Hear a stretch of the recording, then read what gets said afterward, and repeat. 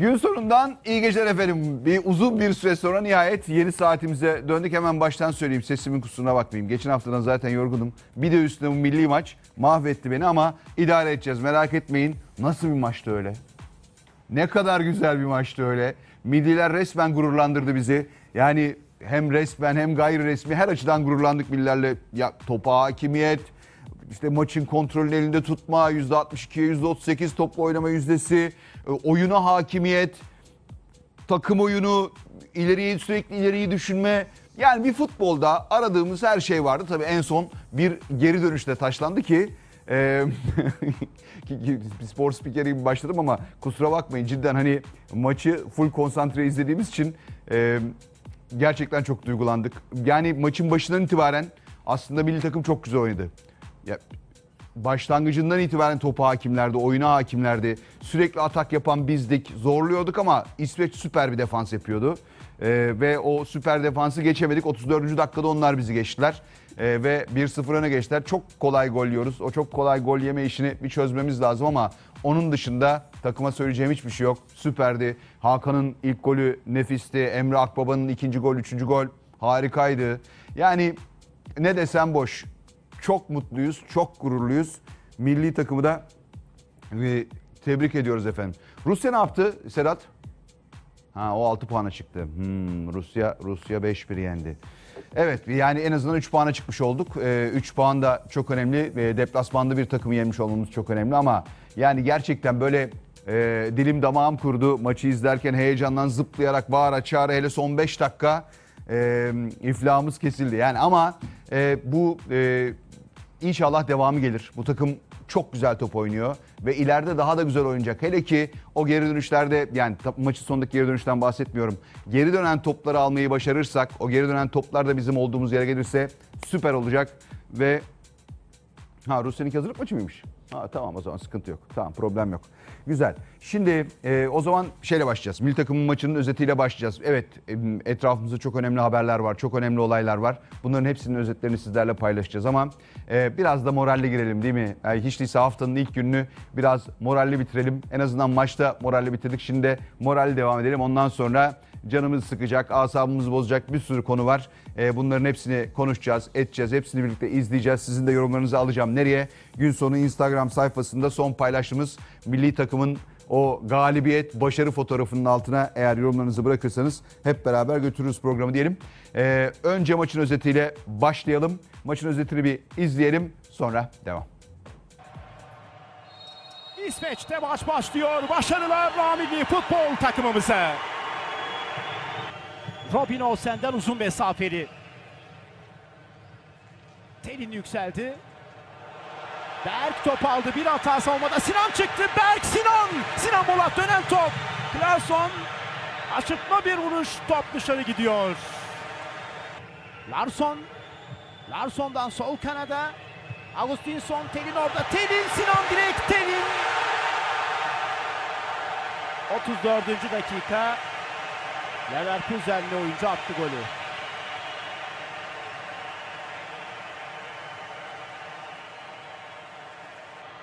Berk'ten Telin'e, Telin yatarak müdahale.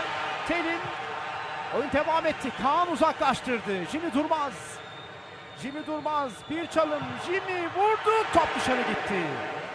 Okay'ı çok rahat geçti. Jimmy Durmaz.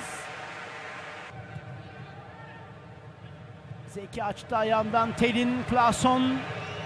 Klason. Klason, Klason. Sinan uzandı top ağlarımıza gitti. 49. dakika.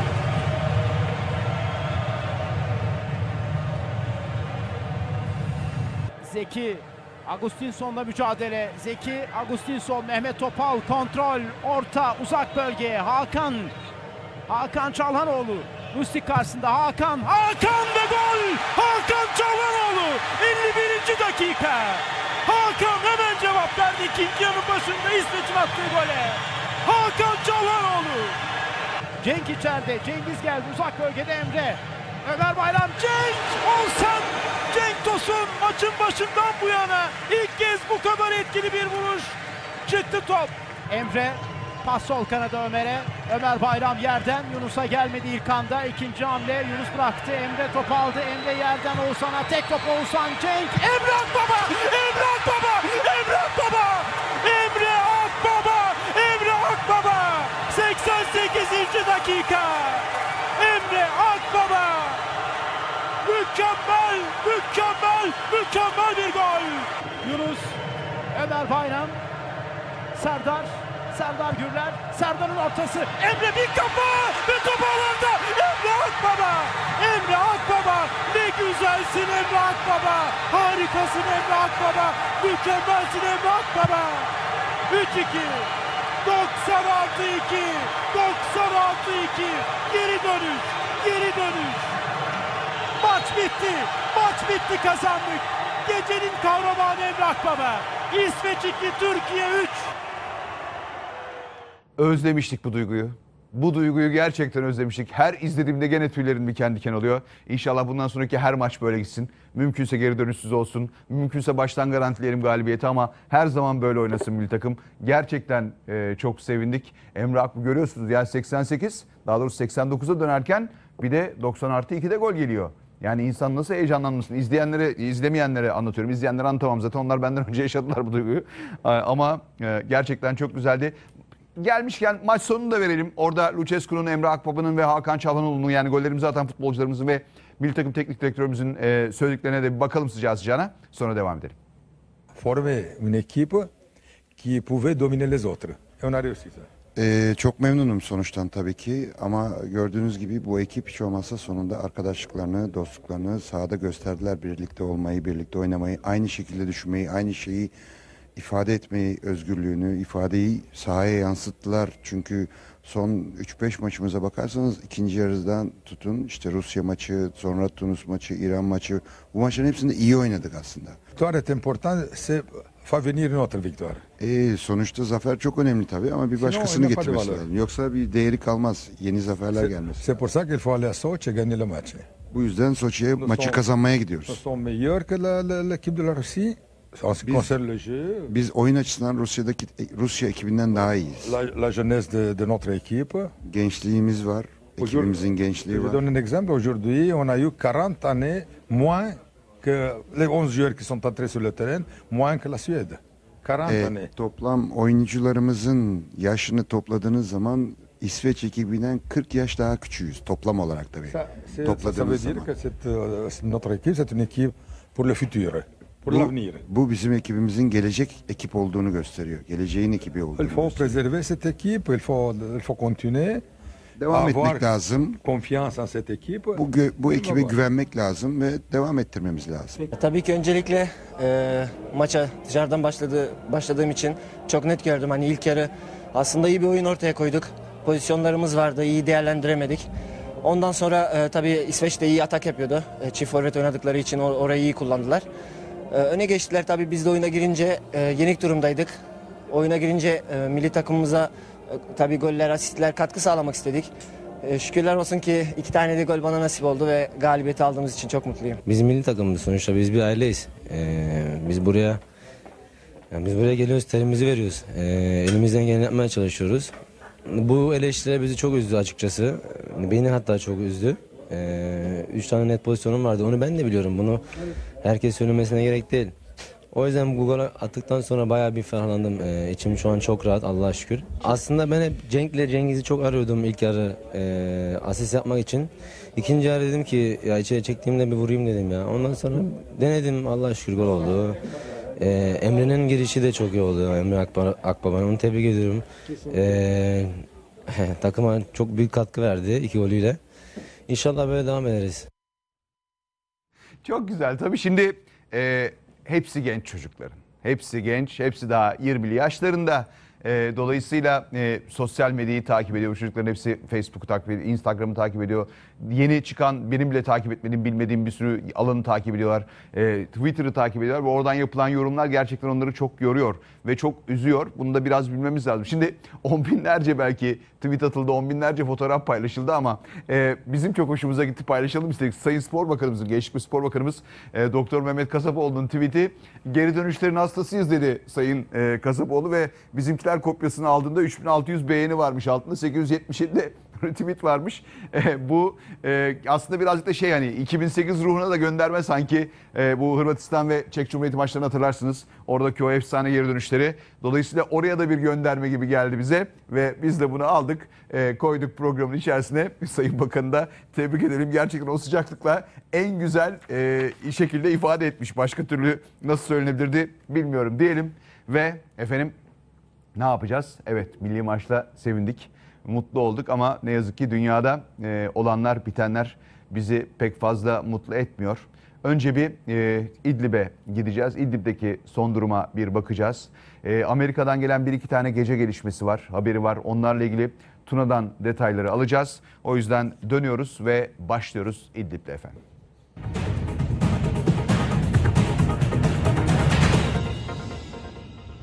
Efendim Rusya ve Esed rejimine ait savaş uçakları İdlib ve Hama'yı hedef almaya devam ediyor ne yazık ki. Saldırılarda ikisi çocuk 17 kişi yaralandı.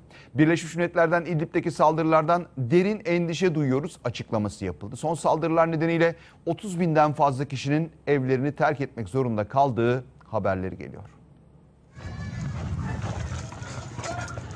Her saldırıda ortalık can pazarına dönüyor.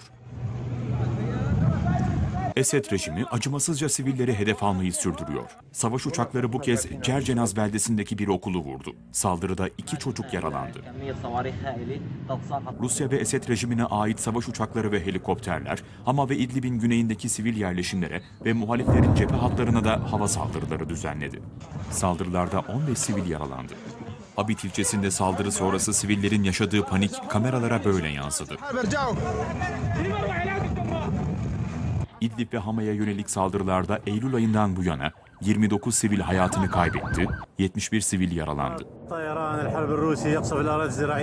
Suriye İnsan Hakları Ağı'nın verilerine göre son saldırılarda yaklaşık 70 kez varil bombası kullanıldı.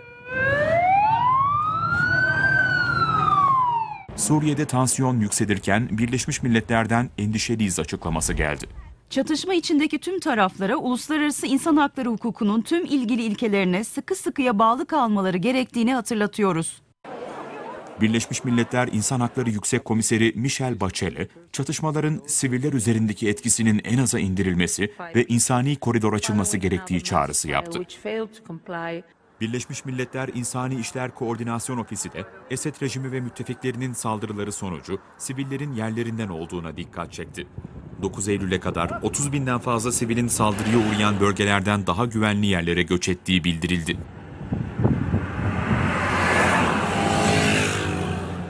Avrupa Birliği'nden de saldırı yıkıcı insani sonuçlara ve acıya yol açacak uyarısı yinelendi.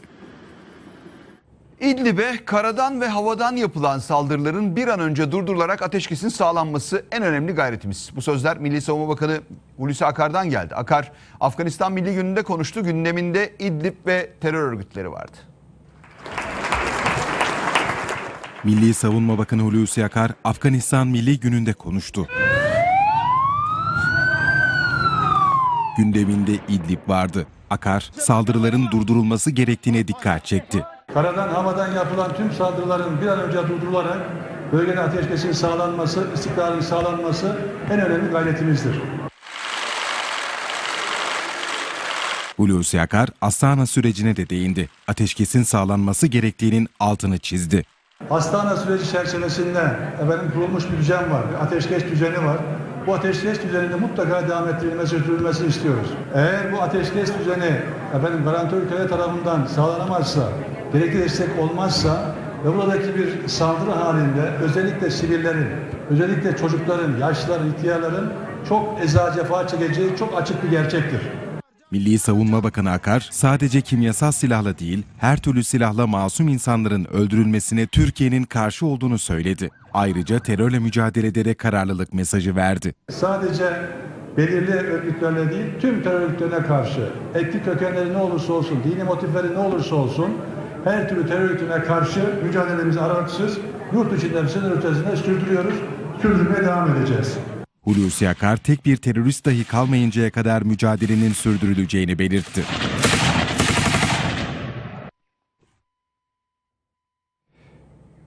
Şimdi son dakikayı görüyorsunuz efendim ekranın altında. Cumhurbaşkanı Erdoğan e, Wall Street Journal gazetesinin Amerika'nın ünlü bir gazetesidir, büyük bir gazetesidir. Oraya yazdığı bir makaleden bir başlığı izliyorsunuz alt tarafta. Erdoğan İdlib köprüden önceki son çıkıştır cümlesi gelmiş ama daha fazlası da var. E, onun için Tuna'ya bağlanmaya çalışıyoruz şu anda. Tuna hazır olduğu anda size bunun detayını vereceğiz. İsterseniz bu arada hemen bir e, şeye bakalım, sınıra bakalım. Aşağı bir İdlib'e inelim. İdlib'den bize Şahin son gelişmeleri bir aktarsın. Nedir, ne değildir durum? Oradaki şu andaki sakin midir, hareketli midir? Onun bir detayını alalım. O arada Tuna'ya da döneriz. Tuna'dan da bu e, makalenin e, önemli satır başlarının hepsini alırız diyelim. Bir Şahin'e kulak verelim. Şahin'de söz. Peki.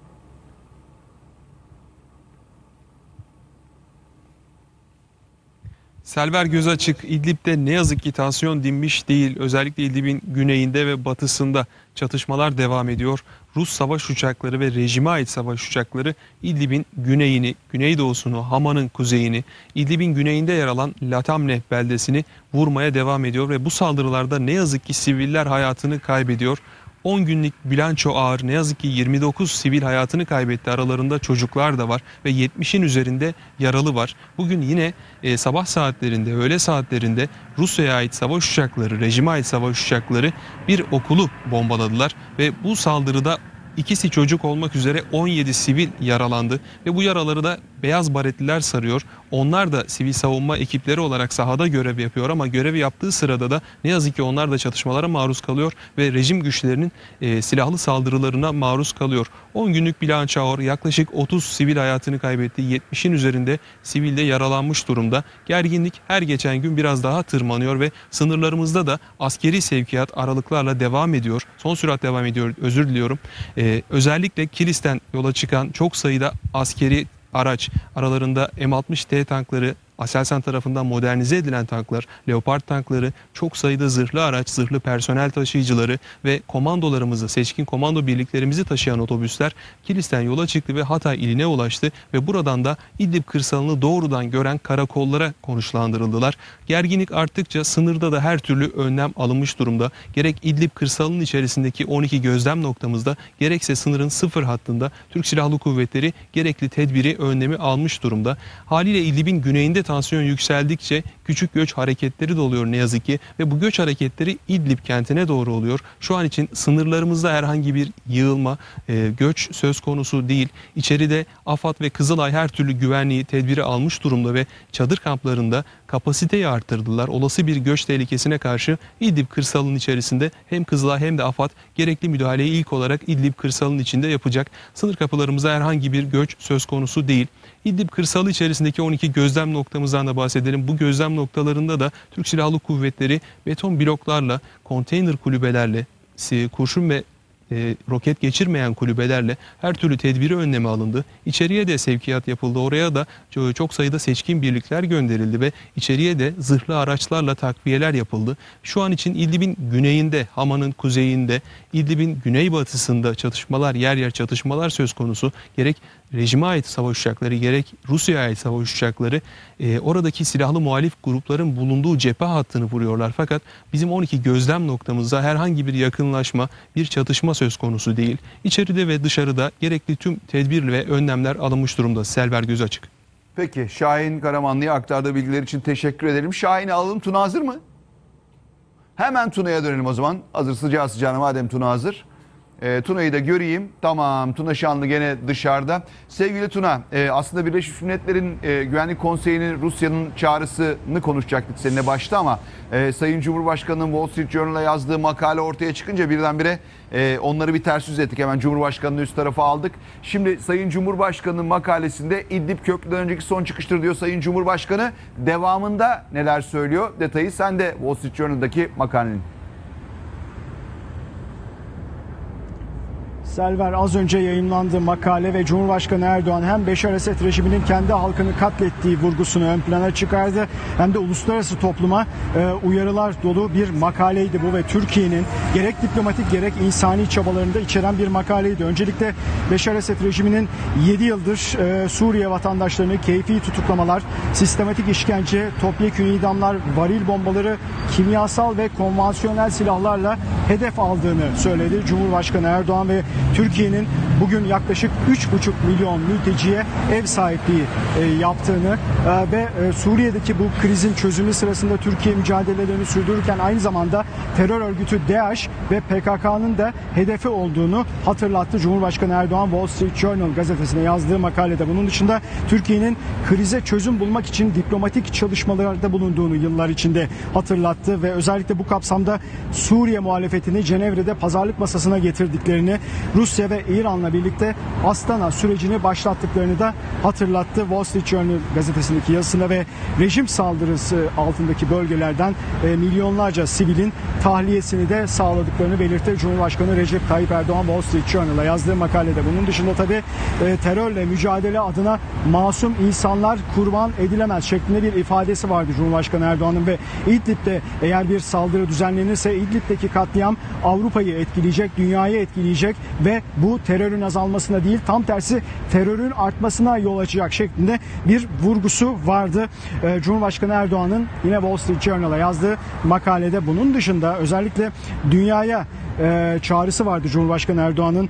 Rusya ve İran insani felaketi önlemekle yükümlüdür dedi. Cumhurbaşkanı Recep Tayyip Erdoğan ve uluslararası toplumu da sorumluluklarının farkına varmaya çağırdı. Selver e, Wall Street Journal gazetesinde Cumhurbaşkanı Erdoğan'ın kaleme aldığı makalenin ayrıntılarını önümüzdeki bülten, bültenlerde ayrıntılarıyla izleyicilerimiz e, bulabilecekler. Peki bir de Birleşmiş Milletler Güvenlik Konseyi'nin Rusya'nın bir çağrısı var. Özellikle Tahran zirvesinden sonra. Ee, bu e, çağrıyı da bize bir detaylandırır mısın? Hem Tahran zirvesi hem de anladığım kadarıyla İdlib'deki son durum. Birleşmiş Milletler Güvenlik Konseyi de Selver bu kez e, Rusya'nın talebiyle toplanacak salı günü Türkiye saatiyle akşam 6'da gerçekleşecek toplantı ve senin az önce belirttiğin gibi Tahran zirvesinin sonucu ele alınacak ve İdlib'deki durum değerlendirilecek. Zira geçtiğimiz hafta e, Cuma günü yine seninle yayında değinmiştik. E, Birleşmiş Milletler Güvenlik Konseyi toplantısının açılış konuşmasını yapan Genel Sekreterin e, Suriye Özel Temsilcisi Demistura Tahran zirvesinin sonucunu merak ettiklerini söylemişti. İşte şimdi yarın bu tartışılacak ve yine üye ülkeler daimi ve geçici üyeler konuşmalar yapacaklar. Herhangi bir tasarı sunulmasını beklemiyoruz açıkçası. Ee, Birleşmiş Milletler'in bir de raporu var. İdlib'de e, şimdiye kadar bir haftadır neler yaşandığına dair Rusya ve eşit e, Esed rejiminin İdlib ve Hama şehirlerindeki e, saldırıları ve hava bombardımanlarında şimdiye kadar 30 binden fazla kişinin yerinden edildiğini ve düzinelerce insanın hayatını kaybettiği açıkladı. Birleşmiş Milletler e, yayınladığı raporda. E, geçtiğimiz haftayı kısaca birkaç cümleyle özetlemek gerekiyor. Yarınki toplantının nasıl geçeceğini de tahmin etmek açısından. Özellikle geçtiğimiz hafta Türkiye vurgusu ön plandaydı. Bazı ülkelerin daimi üyelerin açıklamalarında İngiltere'nin Birleşmiş Milletler daimi temsilcisi Karen Pearson açıklaması Türkiye'nin e, bu bölgede bu bölgede insani krizin e, sonlandırılması ve diplomatik sonuca ulaşılması için gösterdiği çabaları destekliyoruz. Tüm dünyada desteklemeli demişti. E, Fransa'nın Birleşmiş Milletler daimi temsilcisi François Delattre da İdlib'de bir insani krizin yaşanacağını ve bunun Türkiye, Avrupa ve nihayetinde dünyayı etkileyeceğini söylemişti. Uluslararası toplumselver İdlib'de insani krizin yaşanma ihtimalini oldukça yüksek görüyor ve yarın yapılacak konuşmalarda da buna vurgu yapılacak ve özellikle yine Amerika Birleşik Devletleri'nin daimi temsilcisi Nikki Haley'in e, Beşar Esed rejimine yönelik kimyasal silah kullanırsan biz de geçtiğimiz yılki gibi e, cevabını veririz. Operasyon düzenleriz şeklinde bir uyarı yapabileceği konuşuluyor kulislerde. Bunun dışında Rusya'nın da yine Amerika Birleşik Devletleri ve diğer daimi üyelere yüklenmesini bekliyoruz. E, Beyaz Saray'ın açıklamasını e, hatırlamamız gerekiyor. Rusya ve e, Beşar Esed rejiminden e, İdlib'deki e, Türk askeri gözlem e, noktalarını tehlikeye atmaktan kaçınmaları çağrısında bulunmuştu. Beyaz Saray Selver. Peki. Tuna Şanlı'yı teşekkür ederim. Tuna'yla sanıyorum programın ilerisinde bir, bir süre geçtikten sonra tekrar bağlanacağız Tuna seninle başka bir konuyla ilgili olarak. Teşekkür ederim aktardığın bilgiler için. Evet şimdi devam edelim efendim.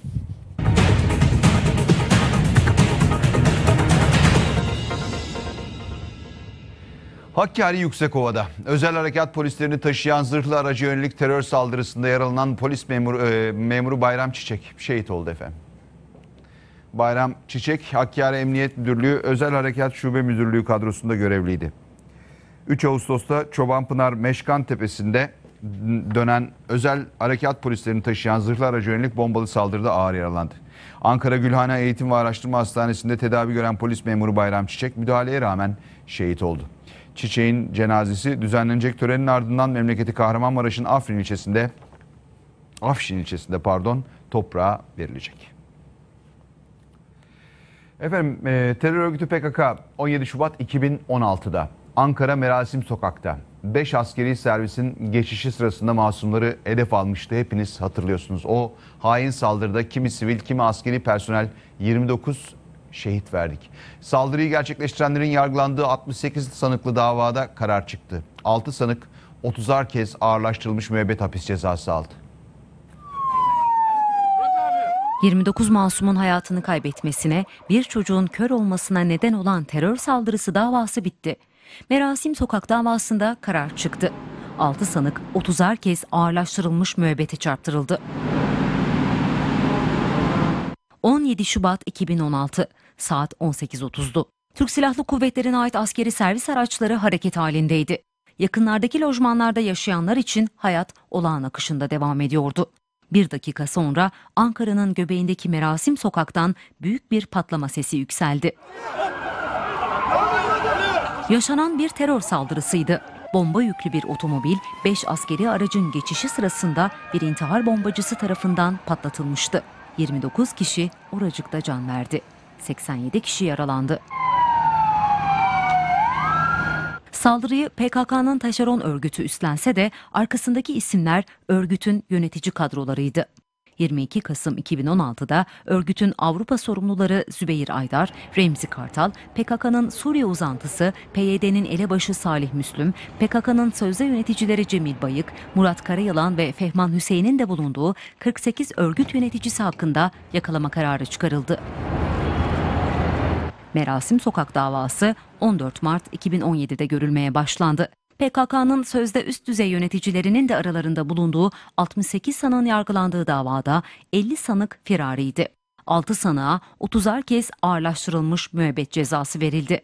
Bu sanıklar ayrıca 75'er kez adam öldürmeye teşebbüs suçundan 1185 yıl hapis cezasına çarptırıldı. Firari 50 sanığın dosyaları ayrıldı.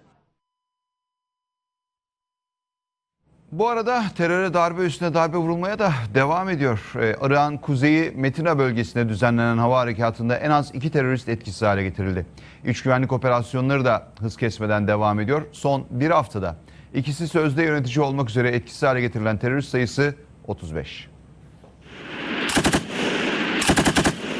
Mehmetçik hem yurt içinde hem sınır ötesinde terör örgütüne göz açtırmıyor. Teröristler etkisiz hale getirilirken yaşam alanları yerle bir ediliyor. Güvenlik güçleri terör örgütü PKK'ya darbe üstüne darbe vuruyor. Türk Silahlı Kuvvetleri Irak'ın kuzeyinde terör örgütüne ait mevzi ve sığınakların yerlerini belirledi. Savaş uçakları hedeflerini tam isabetle vurdu. Teröristlere ait silah, mevzi, sığınak ve mağaralar imha edildi. İlk belirlemelere göre en az iki terörist etkisiz hale getirildi. Bingöl'ün Adaklı ilçesi kırsalında 15 Ağustos'ta düzenlenen hava harekatında 5 terörist etkisiz hale getirilmişti. O teröristlerden birinin sözde Çavreş gücü sorumlusu Yona Dersim Kod adlı Erol Ulucan olduğu tespit edildi. Teröristin 2017 yılında jandarma subay Mustafa Sefa Kök'ün şehit edilmesi ve bir askerinde yaralanması olayının faili olduğu belirlendi. İçişleri Bakanlığı terörle mücadeledeki haftalık bilançoyu paylaştı. İç güvenlik operasyonları kapsamında son bir haftada 35 terörist etkisiz hale getirildi. Etkisiz hale getirilen teröristler arasında örgütün iki sözde lideri de yer alıyor. Operasyonlarda çok sayıda silah ve mühimmat da ele geçirildi. Türk Silahlı Kuvvetleri Münbiç'i terör örgütü YPG PKK'dan temizleme faaliyetleri çerçevesinde 43. devriyesini tamamladı. Türk ve Amerikan askerleri Fırat Kalkanı bölgesiyle Münbiç arasında devriyeye çıktı. İki ülkenin askeri unsurları 43. kez koordineli bağımsız devriye faaliyetinde bulundu. Türk Silahlı Kuvvetleri devriye faaliyetini sosyal medya hesabından paylaştığı bir resimle duyurdu. Evet tabii ne yazık ki bu coğrafyada tek derdimiz e, PKK terörü ya da İdlib değil bir de FETÖ'yle de uğraşıyoruz. Fethullahçı terör örgütünün ankesörlü telefon hatları üzerinden yürüttüğü organizasyona yönelik soruşturma derinlemesine sürüyor. İstanbul ve Ankara'da aralarında muazzaf subayların da olduğu 102 şüpheli hakkında gözaltı kararı verildi. Şüphelilerden 60'ı sabaha karşı başlatılan operasyonla yakalandı. Daha önce silahlı kuvvetlerden ihraç edilmiş bir albay da Sabiha Gökçen Havalimanı'nda yurt dışına kaçmaya çalışırken ele geçirildi. Fethullahçı terör örgütü. Uzun bir süre örgütün yöneticileri şifreli haberleşti. Baylok onlardan biriydi. Deşifre olunca ankesörlü telefonlara yöneldiler. Lokanta, market, büfelerdeki sabit hatları da kullandılar. O yöneticiler Türk Silahlı Kuvvetleri'ndeki örgüt üyeleriyle bu yöntemle iletişim kurdu. Kimlikleri belirlendi, operasyon için düğmeye basıldı. 102 şüpheli için gözaltı kararı verildi. İstanbul'daki operasyonda 60 kişi yakalandı. Aralarında 51'de asker bulunuyor. 9 kişi ise örgütün üst düzey yöneticisi. Şüpheliler arasında daha önce ihraç edilmiş olan bir albay da vardı. Sabiha Gökçen Havalimanı'na geldi. Yurt dışına çıkmak istedi. Yakalanacağını anlayınca cep telefonundan verileri silmeye çalıştı. Tam o sırada kıskıvrak yakalandı. İhraç edilen bir binbaşının evine de baskın yapıldı. Evde baylok kullanmaktan aranan bir örgüt üyesi de yakalandı. Yüklü miktarda döviz de ele geçirildi. Ankara'daki soruşturma da derinleştirildi. FETÖ'nün Kara Kuvvetleri Komutanlığındaki yapılanması için harekete geçildi. Üçü muvazzaf 13 binbaşı hakkında gözaltı kararı verildi. Firari şahısların yakalanması için çalışmalar sürüyor. Hatırlayacaksınız Kayseri'de bir bağ evinde toplantı halindeyken yakalanan FETÖ üyeleri. İşte onların e, polisteki ifadeleri ortaya çıktı. Bazı sanıklar toplantıya örgüt üyelerini bir arada tutmak isteyen sorumluların baskısı yüzünden katıldıklarını itiraf etti. Bu ifadeler terör örgütünün yeniden organize olma çabası içerisinde olduğunu da ortaya koyuyor. Fethullahçı terör örgütü üyesi oldukları için tutuklandılar. Serbest kalınca da örgütsel faaliyetlerine devam etmeye çalıştılar. Kimse kımıldamasın. Bu pozisyonda kalıyorsunuz. Kayseri'de bir bağ evinde toplantı yaptıkları sırada yakalanan FETÖ'cülerin emniyetteki ifadeleri ortaya çıktı. Sanıklardan bazıları örgütün geleneksel yalan söyleme yöntemlerini sürdürerek cezaevi günlerini anmak için buluştuklarını iddia etti. Ancak örgüt sorumlularının baskısı yüzünden yeniden bir araya geldiklerini itiraf edenler de oldu. Bize baskı yapıldı. Bizi bir arada tutmak isteyen örgüt sorumluları yüzünden toplanıyoruz. Sanıklardan ikisi baskıların cezaevinde başladığını belirtip yazılı ifade verdi. İfadelerinde yurt dışına kaçan sözde liderleri eleştirdikleri için tehdit edildiklerini belirttiler. Bir sorumlu, ahiretinizi mahvetmek mi istiyorsunuz, böyle konuşmayın diye bizi baskılıyordu. Cezaevinden çıktıktan sonra da yaptıkları toplantılara katılmaya zorluyorlardı. Zanlılardan üçünün cep telefonlarında yapılan incelemede şifreli haberleşme sistemi Baylok'a ait dijital izler bulundu. Kayseri'de geçen hafta bir bağ evine düzenlenen baskında önce 10 FETÖ mensubu gözaltına alınmış, genişletilen soruşturma kapsamında grupla bağlantılı iki kişi daha gözaltına alınmıştı. Gözaltına alınan zanlılardan 8'i tekrar tutuklanarak cezaevine gönderildi. FETÖ'nün Hava Kuvvetleri Komutanlığındaki gizli yapılanmasına ilişkin davada da karar çıktı. 115 sanığa 1 yıldan 8 yıla kadar hapis cezaları verildi. Ankara 16. Ağır Ceza Mahkemesi'nce Sincan Ceza İnfaz Kurumları yerleşkesinde görülen aralarında eski asker ve gizli örgüt üyelerinin de bulunduğu 156 kişinin yargılandığı davada karar çıktı. 115 sanık silahlı terör örgütüne üye olmak suçundan 1 yıl 3 aydan 8 yıl 9 aya kadar değişen hapis cezaları aldı. Etkin pişmanlık hükümlerinden yararlanan 17 kişi hakkında 1 yıl 3'er aylık hapis cezası veren mahkeme hükmün açıklanmasını geri bıraktı. FETÖ soruşturması kapsamında başka mahkeme tarafından cezalandırılan sanıklardan Cemil Selvi, Furkan Atik, Hüseyin Güleç, İzzet Kara ve Samet Yasin Güngör hakkında ceza verilmesine yer olmadığına karar verildi. Bir sanık hakkında beraat kararı veren mahkeme aralarında firarilerin de olduğu 30 sanığın dosyasını ayırdı.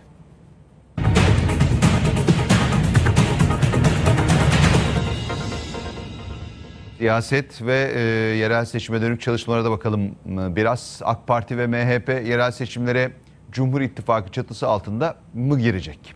Merak edilen soruyla ilgili değerlendirme AK Parti sözcüsü Ömer Çelik'ten geldi. Yerel seçimde ittifakın Cumhurbaşkanı Erdoğan'la MHP liderinin görüşmesiyle netlik kazanacağını söyledi. O görüşme içinde her an yapılabilir dedi. Çelik, Cumhurbaşkanı Erdoğan'ın CHP Genel Başkanı Kemal Kılıçdaroğlu'na bir kez daha dava açacağını da belirtti. Bugünlerde yeni bir görüşme olur mu? Her an olabilir. Önce Bahçeli, ardından Erdoğan yerel seçimde Cumhur İttifakı'na yeşil ışık yaktı. Şimdi gözler iki liderin görüşmesine çevrildi. Peki bu görüşme ne zaman olacak? Sayın Bahçeli ile Sayın Genel Başkanımız arasındaki, Cumhurbaşkanımız arasındaki görüşmeler e, son derece verimli ve kendi dinamiği içerisinde süren görüşmelerdir. Ha, bugünlerde yeni bir görüşme olur mu? Her an olabilir. Şu anda verilmiş somut bir e, karar yok. AK Parti sözcüsü Ömer Çelik, Merkez Yönetim Kurulu toplantısı sonrası kameraların karşısına geçti. Mart ayında yapılacak yerel seçimler de gündemindeydi. Cumhur İttifakı ilkelerine bağlılığın sürdüğünü söyledi. İttifak içinde Erdoğan-Bahçeli görüşmesini işaret etti. E, Cumhur İttifakı'nın yerel seçimlerde nasıl bir mekanizmaya dönüşeceği konusunda e, bir verilmiş bir karar, e, mutabakata varılmış bir konu yoktur. Bu konu AK Parti açısından yakın zamanda uygun bir takvime göre Cumhurbaşkanımızla Sayın Bahçeli'nin bir araya gelmesiyle başlayacak bir süreç içerisinde konuşulacaktır. Ömer Çelik, CHP Genel Başkanı Kemal Kılıçdaroğlu'nun Cumhurbaşkanı Recep Tayyip Erdoğan'a yönelik sözlerini eleştirdi. Dava açılacağını söyledi. Dava açın diyor, ben diyor bunu ispat edeceğim diyor. Peki, dava açacağız. İspat et bakalım, göreceğiz. Daha önce biliyorsunuz, bu tip konularda dava açtı ve sürekli olarak davaları kaybetti. CHP'de de Merkez Yönetim Kurulu Kemal Kılıçdaroğlu başkanlığında toplandı. Kılıçdaroğlu A takımıyla bir kez daha yerel seçim hazırlıklarını değerlendirdi. Parti sözcüsü Faik Öztrak yerel seçimlerde ittifak yapılmayacağını söyledi. Nasıl ittifak yapacaksınız? Yasalarda artık ittifak yok ki. Yani yerel yönetim seçimlerine ilişkin ittifak yapma imkanınız var mı? Niye? Gerek de yok. Bu seçimde millet kendine en iyi hizmet edecek olan adayı seçecek. CHP bir kez daha yerel seçimlerde ittifaka kapıları kapattı. Parti sözcüsü Faik Öztürk, Merkez Yönetim Kurulu toplantısı devam ederken kameraların karşısına geçti. Cuma günkü toplantıda çizilen yol haritası üzerinden ilgili arkadaşlarımız çalışmalarına devam ediyorlar. CHP yerel seçim çalışmalarını sürdürüyor. Genel Başkan Kemal Kılıçdaroğlu başkanlığında toplanan Merkez Yönetim Kurulu toplantısının gündeminde de seçim hazırlıkları vardı. Mevcut belediye başkanlarının performansları, partinin önceki seçimlerde aldığı oy oranları, neden oy kaybı yaşandı? Yapılan saha çalışmaları ve 2014'ten bu yana yapılan seçimler detaylarıyla inceleniyor. Cumhur İttifakı'nın yerel seçimlere taşınması halinde ittifakın sandığa nasıl yansıyacağı da CHP tarafından değerlendirilen başlıklar arasında. Kılıçdaroğlu hafta içinde parti meclisi toplantısına başkanlık edecek. CHP'nin en üst karar alma organı yerel seçim strateji bildirgesine son şeklini verecek. CHP liderinin belediye başkanları ve milletvekilleriyle yapacağı toplantılarda da yerel seçim hazırlıkları masada olacak. Yetkili kurullarda yapılacak istişarelerin ardından büyük şehirlerde başta olmak üzere aday belirleme süreci de başlayacak.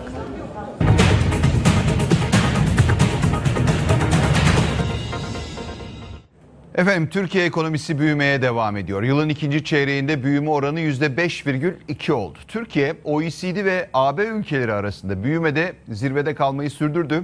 Hazine ve Maliye Bakanı Berat Albayrak veriler ekonomide dengelenme sürecinin başladığını gösteriyor dedi. Büyüme verileri açıklandı. Türkiye Nisan-Haziran dönemini kapsayan yılın ikinci çeyreğinde %5,2 büyüdü. Türkiye 7 çeyrektir güçlü bir büyüme performansı sergiliyor. Bu yılın ilk çeyreğinde %7,4 olarak açıklanan büyüme rakamı ise %7,3 olarak revize edildi. Diğer yandan geçen yılın büyüme verisi de %7,4 olarak açıklandı. Gayri safi yurt içi hasıla tahmini bu dönemde %20,4 artarak 884 milyar 4 milyon 260 bin Türk lirası oldu. Veriler ekonomide dengelenme sürecinin başladığını gösteriyor. Makroekonomik dengelenme politikası büyümeyi orta vadede daha sağlıklı bir patikaya getirecek. Türkiye %5,2'lik büyüme hızıyla OECD'de lider, Avrupa Birliği ülkelerinde ise ikinci sırada. Türkiye ikinci çeyrekte sergilediği performansla Avrupa'nın en hızlı büyüyen ekonomisi olduğunu bir kez daha kanıtlamıştır. 2018 yılında hedefimiz ihracatta zirveye ulaşarak büyümeyi desteklemektir.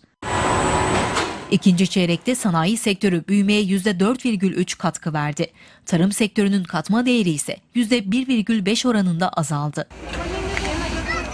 Büyümeye özel tüketimin katkısı büyük. Tüketimde %6,3 artış görüldü. Yatırımlar büyüme verisini 3,9 puan yukarı çekti. Yılın ilk yarısını iyi atlattık gözüküyor ekonomik manada. Hala iç talepte, hane halkı tüketimiyle ve ihracatla büyüyen bir ekonomi var. Daha fazla üretmemiz, kendi içer, içimize daha fazla tüketmemiz ve bunu daha fazla ihraç etmemiz lazım. Diğer yandan Merkez Bankası faiz için 13 Eylül Perşembe günü toplanacak. Piyasada faiz artırım beklentileri yüksek. Tabii şimdi e, Türkiye ekonomisi büyümeye devam ederken Avrupa ülkelerinde ivme yavaşlıyor. Ekonomik İşbirliği ve Kalkınma Örgütü'ne üye ülkelerin genelinde ve Avro bölgesinin tamamında büyüme ivmesinde yavaşlama işaretleri kaydedilmiş vaziyette. Açıklamayı Ekonomik İşbirliği ve Kalkınma Örgütü yaptı. Aralarında Almanya, Fransa, İngiltere ve İtalya'nın da bulunduğu Avro bölgesinin tamamında büyüme ivmesinde yavaşlama işaretlerinin görüldüğü belirtildi. Amerika Birleşik Devletleri, Japonya ve Kanada'ya yönelik verilerin istikrarlı büyümeye işaret ettiği, Brezilya ve Rusya'da ise büyümede ivme kaybı olduğu ifade edildi. Altın Türkiye'de hem takı hem hediye hem de kara gün dostu bir yatırım aracı. Hazine ve Maliye Bakanlığı yastık altındaki altınların ekonomiye kazandırılması için tahvil programı başlattı. Programla hem ekonomi hem de vatandaşın kazanması hedefleniyor. Yastık altındaki altınların ekonomiye kazandırılması için yeni bir seferberlik başlatıldı. Artık hazine altın sahiplerinin güvenli kasası olacak. Cumhurbaşkanı Erdoğan'ın yastık altı döviz ve altının bozdurulması için çağrısı vardı. İşte Hazine Bakanlığı'nın bu adımıyla bu çağrının hayata geçirilmesi için en önemli adımlardan biri atılmış oldu. Bu kapsamda Ziraat Bankası şubeleri aracılığıyla altınlar teslim alınacak, karşılığında tahvil verilecek. Amaç evde saklanan altınların çıkarılması, finansman araçlarının çeşitlenmesi ve yatırımcı sayısının artması. Ben geleceğim için şahsen e, altını e, güvenli bir aracı olarak görüyorum. Bence bu uygulamanın gayet güzel olacağını düşünüyorum. Altın tahvili ekonominin yanı sıra yatırımcısına da kazandıracak. Bu tahvillerin getirisinden herhangi bir vergi kesintisi olmayacak, komisyon alınmayacak. Yıllık bazda tahvil sahibine %2,4 kazanç sağlayacak. E, Çok güzel. Hem e, e, altınlardan e, garantide olmuş olur insanların altını. Hem de devlet kazanmış olur. Hem de milletimiz kendisi de kazanıyor insanlarımız. Yani çok çok güzel bir şey bence. Tahvil programı kapsamında sadece 22 ve 24 ayar altınlar kabul edilecek. Bilezik, kolye gibi takılar da banka uzmanları tarafından incelenerek sisteme dahil edilebilecek. Vatandaşımız altını ya- yorganın yastığın altında saklamasın. Çıkarsın hem kendi değerlenecek hem de memleket yükselecek çıkacak. Tahvil talepleri için birinci etap 14 Eylül'e kadar sürecek. 81 ilde geçerli olacak talep toplama işlemi 26 Ekim'e kadar devam edecek. Hazine aynı zamanda kira sertifikası da ihraç edecek.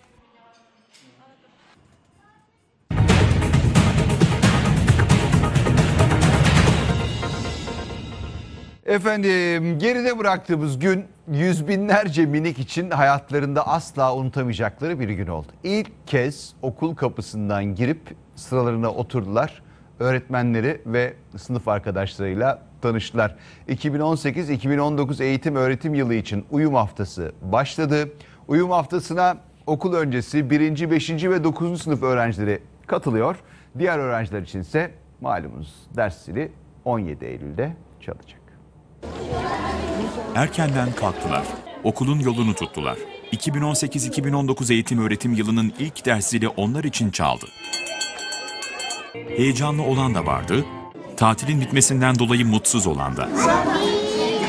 Mutlu musun? Bak yanında sıra arkadaşın oturuyor, arkanda sıra arkadaşların var, sınıf arkadaşların var.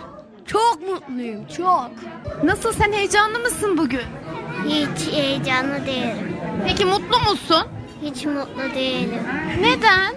Bilmiyorum. Minik öğrenciler sıralarında yerlerini aldı, ilk fotoğrafları çekildi. Ana. Çok mutluyum ve arkadaşlarım var. Yine arkadaşlara edineceğim için çok mutluyum. 4 sene boyunca beraber olacakları öğretmenleriyle tanıştılar. İlk günün heyecanı sabah erkenden kalktı. O korkuyu hissettirmemeye çalıştık, heyecanı yaşatmamaya çalıştık. Okul öncesi 1. 5. ve 9. sınıf öğrencileri için uyum haftası başladı. Amaç öğrencilerin okul kaygılarını gidermek ve okulun ortamını sevdirmek. Arkadaşlarıyla tanışma fırsatı yaratmak. Ahmet kaç yaşındasın? 5. Sevdin mi okulunu? Evet. Neler yapacaksın okulda? Okulda resim yapacağım. Başka? Bayan oynayacağım. Neler onlar? Kim verdi sana? Öğretmenim. Nasıl geçti ilk günün okulda? Güzel. Okulumuza hoş geldiniz. Yeni okuluma başladım. Bin- Artık ana sınıfı yok ve birinci sınıfa başladım. Uyum haftası 14 Eylül Cuma sona erecek. Diğer öğrenciler içinse ilk dersleri 17 Eylül'de çalacak. Efendim okula uyum haftası başladı. Çalışkan polisler de işbaşı yaptı. İstanbul Emniyet Müdürlüğü'nün başlattığı uygulama kapsamında çocukların güvenliği için tüm önlemler alındı. Okulların çevresi ve servisler denetlendi. Okul çevreleri, yollar ve servisler denetlendi. İstanbul'da bugün öğrenci olan her yerde çalışkan polis vardı. İstanbul Emniyet Müdürlüğü'nün yeni eğitim öğretim yılında hayata geçirdiği Çalışkan Polisler Projesi bugün ilk kez okullarda uygulanmaya başlandı. Konuşmuyoruz tamam mı? Yabancılar size çikolata verebilir, oyuncak verebilir. Onların sakın ha konuşmuyoruz. Okul çıkışlarında annelerimizi, babalarımızı beklemeden bir yere gitmiyoruz. Projeyle hem okul çevresinin denetlenmesi hem de öğrencilerle köprü kurulması amaçlanıyor. Allah korusun başlarına bir şey geldiğinde e, hiç çekinmeden, korkmadan bize gelip dertlerini, sıkıntılarını anlatabilsinler istiyoruz. Tüm amacımız bu. Toplum destekli polisin amacı bu zaten. Çalışkan polis projesi sayesinde çocukları ve gençleri suça yönlendiren koşullar da ortadan kaldırılacak. E, Çocuklarımız polisi gördüğü zaman korkuyor. Biz öncelikle onu engellemeye çalışıyoruz ama velilerimiz de e, bizi gördüklerinde acaba bir şey mi oluyor diyor. Hani polis gördüğün zaman insan bir tedirgin oluyor ama biz durumumuzu anlatıyoruz. Suç öncesi birimiz. E, vatandaşımızı da bilgilendiriyoruz, velilerimizi de bilgilendiriyoruz. Çalışkan polisler öğrenci ve velilerden tam not aldı. Bence çok çok güzel düşünülmüş bir proje. Okulun ilk gününde çocuklarımızın güvenliğini sağladıkları için polislerimize, emniyet müdürümüze, ayrıca okulumuza da çok çok teşekkür ediyoruz. Okullardaki uyum haftasının ilk gününde İstanbul'daki önemli kavşaklarda öğrenci servisleri de denetlendi. GBT sorgulamaları yapılıyor öncelikle. Araç sorguları yapılıyor. Öğrencilerimizin güvenli şekilde inip binebileceği şekilde, duraklarına inip e, binebileceği şekilde tertibatları var mı? Bunları denetliyoruz. Kameralarımız var mı yok mu? Daha sonra o kapılarımız otomatik mi değil mi? Bunları kontrol ediyoruz.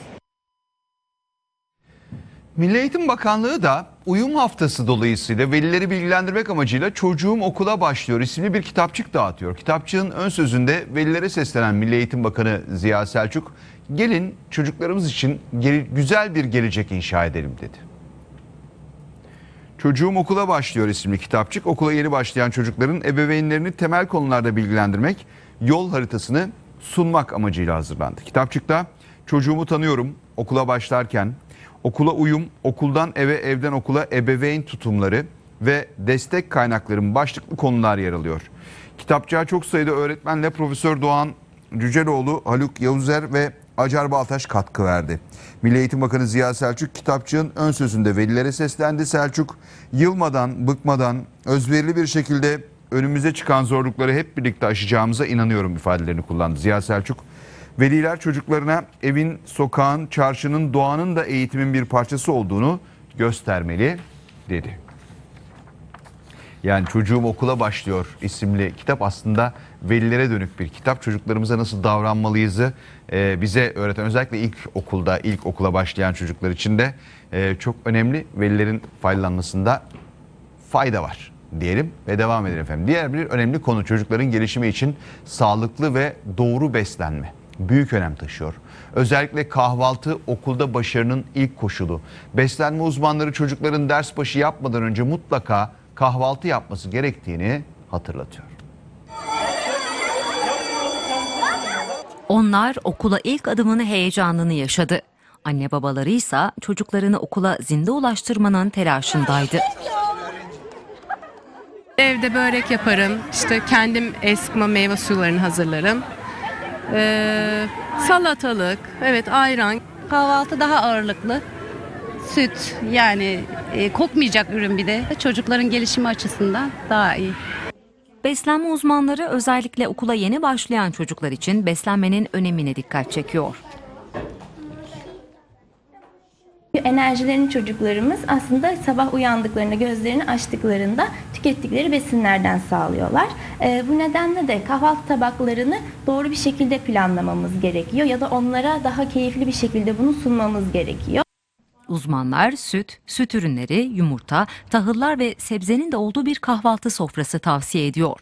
Yumurta mutlaka olsun diyoruz. Protein içeriği aslında çok kıymetli. Örnek bir proteindir. Bizim için anne sütü kadar değerlidir. Sevilen peynirler tercih edilmelidir. Salatalık, domatese de yer verebiliriz.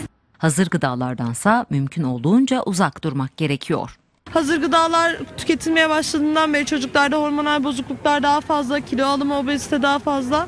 Ee, evde hazırlanmasını doğru buluyorum.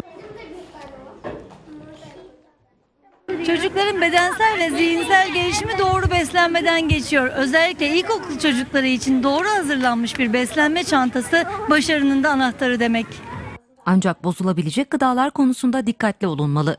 Mesela kuru meyveler koyabiliriz, taze meyveler koyabiliriz. Onun dışında ev yapımı ürünler koyabiliriz. Paketli ürünleri kesinlikle önermiyoruz. Çünkü paketli ürünler zaten içerisinde koruyucu, renklendirici, kıvam arttırıcı gibi birçok katkı maddesini de içeriyor. Şimdi sayfayı değiştireceğiz. Güzel, e, keyifli bir iki haberimiz ve bağlantımız daha var ama onlara geçmeden önce e, sizden gelen mesajlara baktım. Tabii herkes milli takımla kalmış. E, daha öteye pek geçememişiz ama olsun. Volkan Keleş mesaj atmış. E, güzel bir özet bekliyoruz demiş. İnşallah Volkan, tabii bunlar programın başına gelen mesajlar doğru ya. İnşallah e, mutlu olmuşsundur Volkan'cığım. Eğer yetmediyse programın sonunda bir kere daha veririz o özeti yeter ki zamanımız kalsın. Yavuz Bey milli bir geceden sabaha adım adım ilerlerken bizi heyecanlandıran milli takıma e, gönülden tebrikler demiş. E, Vele Karven bu arada şu rahat koltuklarından bu genç dinamik kadromuzu yerden yere vuran yorumcu baylar var ya hani demiş. E, mümkünse çatallı dillerini dişlerinin arasında tutsunlar diye sert bir yorum yapmış. Yani yorumcuları e, yorumcuları eleştirmiş sevgili Vele Karven. Serkan Ergün e, iyi yayınlar. İnegöl'den selamlar. Millilerimizi tebrik ediyorum demiş. Recai Şahin Türk olmaktan gurur ve şeref duyuyorum. Allah razı olsun millilerimizden demiş. Uzun bir aradan sonra muhteşem bir sonuç demiş Ayşe Satar hanımefendi. Kosova'dan da selam etmiş bize. Ee, Samet Bey Fuat abiye mesaj göndermiş Sedat. Diyor ki Fuat abi maçla falan pek ilgilenmiyor galiba diyor. Fuat abinin genel olarak futbolla çok bir alakası yok zaten. Ee, ama milli takımı tutuyor. Yani ondan yana sıkıntı yok ama adamın maç izleme alışkanlığı yok. Yapacağımız bir şey yok yani. Hatta yok artık o kadarını söylemeyeyim. Yani Fuat abinin pek futbolla alakası yok evet. Maalesef öyle yani. Ee, birlikte mücadele edince diyor Veysi Bey başarı da beraber geliyor diyor. Ee, The Pink Shirt Pembe Gömlek isimli arkadaşım milli maçlardan soğuduğumuz şu zamanlarda böyle bir maçı kazanıp da izleyememek gerçekten çok üzdü beni demiş. Gerçekten çok şey kaçırdın değerli kardeşim. Muhteşem bir geri- geriye dönüş Muzaffer Günaydın tebrikler diyor. Ee, Güner Bey biz de çok sevindik. Yalnız süper oynadığımızı değil nerelerde hatamız olduğunu eleştirelim demiş. Aynen öyle girişte de ben onu söyledim ya. O geri dönüşler, o geri dönen toplarda yani o boşta kalan toplarda ya da çok panik anlarında sürekli pasları doğru yere yani ikinci yarının ortasından itibaren yapmaya başladık. Ama öncesinde hala gelişine vuruyorduk. Halbuki yana ver, sağa ver, sola ver. Bunu nihayet becerdik yani o son 15-20 dakikada. İnşallah bundan sonra e, hep e, böyle devam ederiz diyelim. Ha, çok mu konuştum? Devam peki.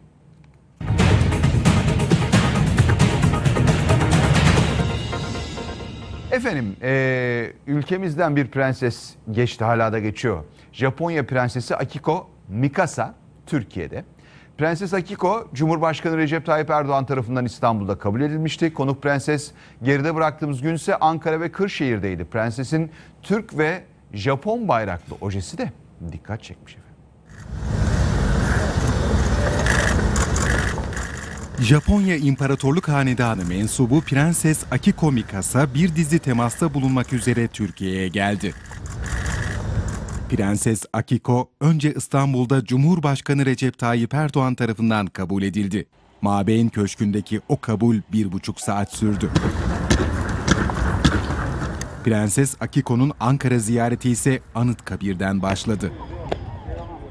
atanın huzuruna çıktı, mozoleye çelenk bıraktı. Anıtkabir özel defterini imzaladı.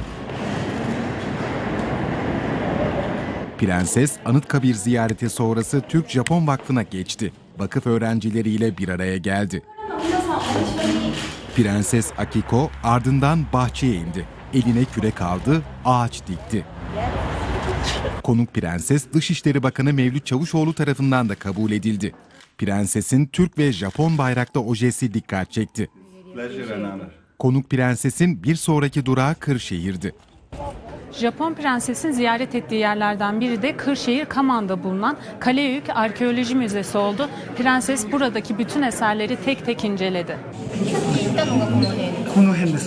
Müze hakkında bilgi alan prenses daha sonra aynı kampüsteki Japon bahçesini ziyaret etti. Evlenen çiftlerin fotoğraf çektirmek için geldiği bahçede çiftlerle sohbet etti. Hatıra fotoğrafı çektirdi.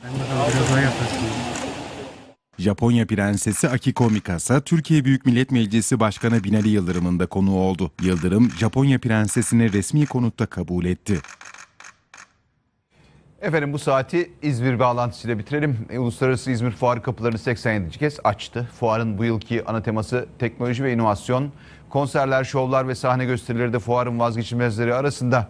Arkadaşımız Cihat Sönmez e, fuardaydı ve onun izlenimlerini getirelim ekranlarınıza efendim. Selver gözü açık İzmir'den iyi geceler. Ses size mutlaka geliyordur rengarenk. Bol müzikli bir ortamdayız. İzmir fuarındayız. Her ilin bir simgesi var. İzmir'in simgesi de İzmir fuarı. Bu yıl 87. kez kapılarını açtı. Hem de muhteşem bir açılış yaptı. Cuma günü açıldı. İzmir Internasyonel Fuarı, Uluslararası İzmir Fuarı bu sene çok renkli görüntülerle açıldı. Şu anda siz de görüyorsunuz. Rengarenk bir çekirge, dev bir çekirge şu anda İzmir Fuarı'nın tam ortasında dans gösterisi sergiliyor. Üstündeki dansçılar Fransa'dan geldi bu dev çekirge. 7 kişilik bir ekip çevresinde farklı karakterlerde hayvanlar var, çekirge var, arı var. İçindeki insanlar şu anda e, Fransa'dan gelerek e, İzmir Fuarı'nda renkli sahnelere, e, renkli görüntülere sahne oluyor şu ortam. Evet İzmir Fuarı'nın 87. kez kapılarını açtığını söyledik. Fuarda ana tema teknoloji ve inovasyon. E, biz dışarıdayız. Tabii ki bu bahsettiğim alanlar hollerin içerisinde İzmir Fuarı e, sadece burayla ibaret değil. Asıl teknoloji ve inovasyon dedik. Ticaret bağlantıları yapılıyor İzmir Fuarı'nda. Ama biraz buraya ben e, yine gelmek istiyorum. E, izninizle şu anda çok güzel bir ortam var. Burası nedir, ne değildir? Gördüğünüz gibi konfetiler şu anda konfetiler şu anda e, fırlatılmaya başlandı. Dansçılar gösterilerini tamamladı. Fuar sorumlusu arkadaşımız yanımızda. Burada ne oluyor bir anladım. Merhabalar. 87'sini gerçekleştirdiğimiz fuarımızda Gezici Sokak Gösterileri kapsamında bir karnaval arası yaratmak için Fransa'dan dev çekirgeyi getirdik. Buradaki amaç insanların sokakta yürürken, fuar alanında yürürken eğlenmesini sağlamak. Hem de konser alanımıza ilgiyi çekmek. Kapılar arasında gidip gelerek günde 3 defa e, insanlara eğlenceli bir show sunuyoruz. E, insanların katılımları ve olumlu yanıtları var. E, sosyal medyada en çok paylaşım yapılan gruplardan biri sahnelerde. Fuarın en ilgi çekici yanı yanlarından birisi de sanırım bu. diyebiliriz. Evet insanlara ilginç geliyor. Çok güzel maketler ve dans şovları olduğu için bayağı ilgi çekici. Teşekkür ederiz.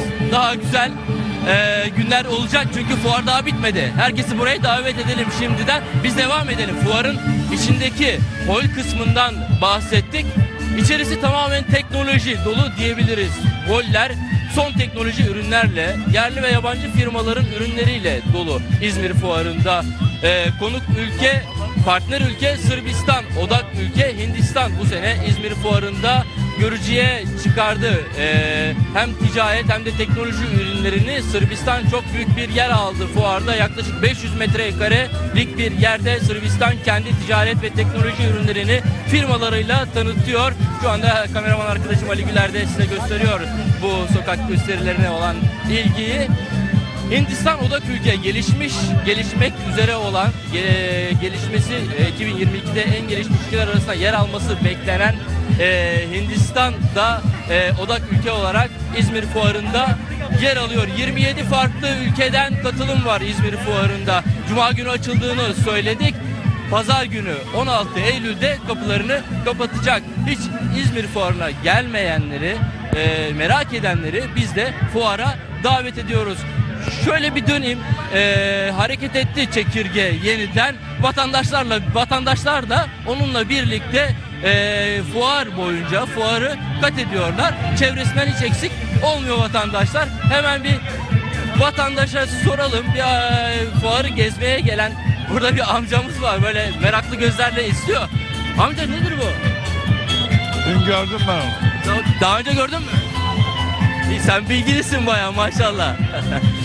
bu şekilde fuarı izlemeye gelen çok sayıda vatandaş. İlk kez görenler tabii ki çoğunlukta bu gösteriyi. Evet İzmir Fuarı sokak gösterileriyle, tiyatroları, tiyatro gösterileriyle ve konserleriyle 16 Eylül pazar gününe kadar açık kalacak diyelim ve sözü yeniden size bırakalım. Evet Cihat'a bu keyifli anlatımı için teşekkür edelim ve yeni saatimize başlayalım efendim.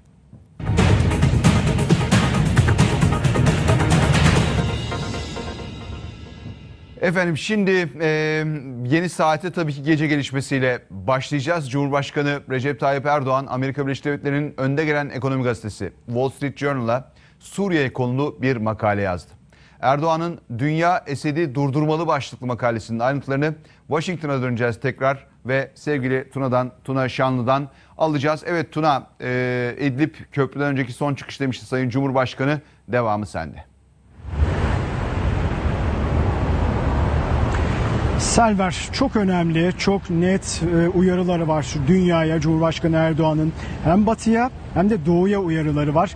Ve özellikle bundan sonraki süreçte Beşar Esed rejiminin İdlib'de operasyonlarını sürdürmesi durumunda yalnız Türkiye ve Avrupa'nın değil bütün dünyanın bundan etkileneceğini, olumsuz etkileneceğini ve bir insani kriz yaşanacağını da uyarılarında belirtiyor Cumhurbaşkanı Erdoğan. Önce en çarpıcı bölümleriyle başlayalım. İdlib köprüden önceki son çıkıştır diyor Cumhurbaşkanı Erdoğan Wall Street Journal gazetesine yazdığı makalede ve dünya Beşar Esed'i durdurmalı diyor. Zaten makalenin başlığı da dünya Esed'i durdurmalı idi.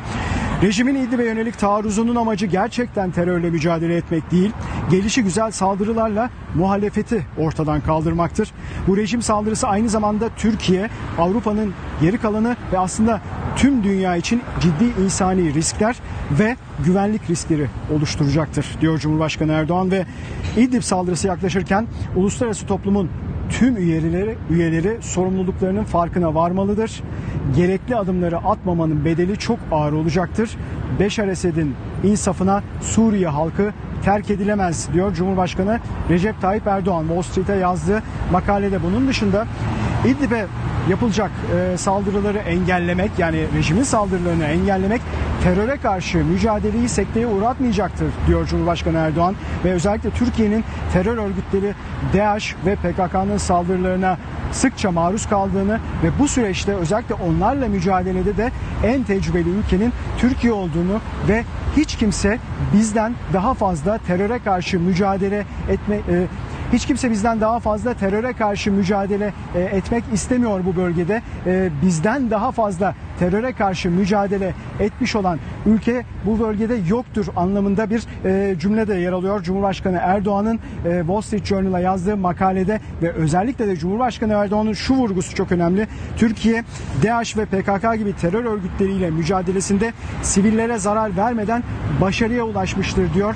Cumhurbaşkanı Recep Tayyip Erdoğan ve terörden etkilenen bölgelere bölgelerde istikrarı yeniden sağlamak uğruna çok sayıda şehit verdiklerini de hatırlatıyor.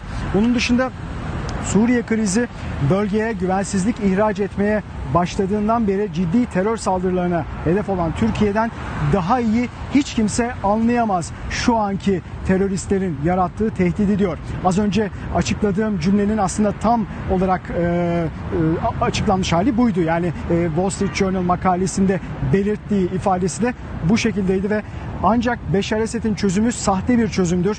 Terörle mücadele adına masum insanlar kurban edilemez diyor Cumhurbaşkanı Erdoğan. Böyle bir adım ancak yeni terör ve aşırıcılık yuvaları yaratmaya sebep olur diye ekliyor.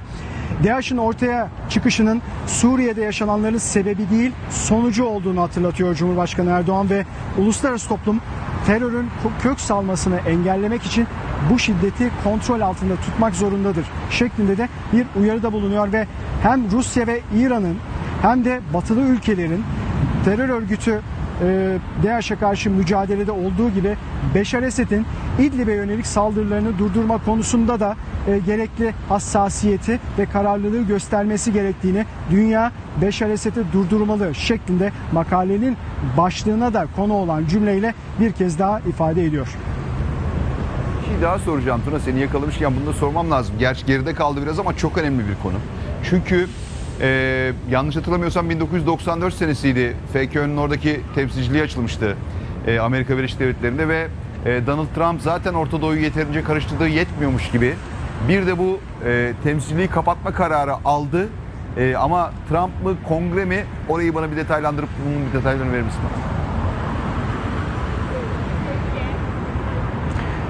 Şimdi öncelikle bu Trump yönetiminin bir kararı Selver ama Dışişleri Bakanlığı'nın e, açıklamasına baktığınız zaman kongrenin kaygıları sonucu bu kararı aldık şeklinde de bir cümle var. Şimdi bu Yahudi lobisinin baskılarıyla bu kararın alındığı anlamına geliyor. Çünkü Amerikan Kongresi'ni yalnız lobiler etkileyebilir. Başka hiçbir devlet ya da e, Trump yönetimi dahil yani executive branch dedikleri Beyaz Saray dahil kongreyi etki altına alamazken lobiler çok etkilidir. Yahudi lobisi, silah lobisi vesaire diğer lobiler. Dolayısıyla Yahudi lobisinin etkisini Dışişleri Bakanlığı'nın açıklamasında yer alan Amerikan Kongresi'nin kaygıları üzerine FKÖ'nün, Filistin Kurtuluş Örgütü'nün Washington ofisini kapatma kararını aldık şeklindeki açıklamasında görebiliyorsunuz. Ama Beyaz Saray Ulusal Güvenlik Danışmanı John Bolton'un açıklamasına baktığınızda biraz daha konunun e, derinlere ulaştığını da görüyorsunuz. Öncelikle John Bolton bugün öğle saatlerinde Federalist Topluluğun öğle yemeğinde yaptı bu açıklamayı ve e, Federalist Topluluk e, muhafazakar ve liberal avukat ve hukuk öğrencilerinden oluşan ve Amerikan Anayasası'nda reformu savunan bir topluluk. Dolayısıyla bu topluluğun toplantısında yapmış olması bu bakımdan önemli. Bunun dışında aynı toplantıda Uluslararası Ceza Mahkemesi'ne yönelik yaptırım kararı alındığını duyurması da tesadüf değil. Gelelim açıklamanın ayrıntılarına. Filistin Kurtuluş Örgütü'nün Washington ofisinin kapatıldığını açıklarken John Bolton, Beyaz Saray Ulusal Güvenlik Danışmanı, İsrail'in kendisini terör saldırılarına karşı koruduğunu iddia etti. Bunun dışında İsrail'in Amerika Birleşik Devletleri'nin yakın dostu ve müttefiki olduğunu da belirtti John Bolton ve e, Filistinlilerin e, İsrail'le görüşmeye yanaşmadıklarını ve Amerika Birleşik Devletleri'nin sunduğu barış planına da uymadıklarını dolayısıyla Amerikan yönetimiyle de iletişime geçmedikleri için Filistin Kurtuluş Örgütü'nün Washington'daki ofisinin kapatılma kararı aldığını belirtti John Bolton. Bunun dışında aynı konuşmada Uluslararası Ceza Mahkemesi'ne yönelik açıklamaları da vardı ki önümüzdeki günlerde dünyadan e, tepki e, çekebilecek açıklamalar bunlar. Özellikle Amerikalı politikacılar, askerler, gazeteciler ve hukuk adamları Uluslararası Ceza Mahkemesi'nce soruşturmaya tabi tutuluyor ve Amerikalıları maksadını aşarak sorgulayan mahkemeye dur demek için 11 Eylül'ün yıl dönümünün arifesinde şunu açıklamak istiyoruz ki Uluslararası Ceza Mahkemesi'ne katılmayacağız, yer almayı sürdürmeyeceğiz, yardım sağlamayacağız ve Amerikalıları yargılamayı sürdürür ve İsrail ile ilgili bir soruşturma başlatırsa da Uluslararası Ceza Mahkemesi hakimlerine de bir yaptırım uygulayacağız şeklinde bir ifade kullandı.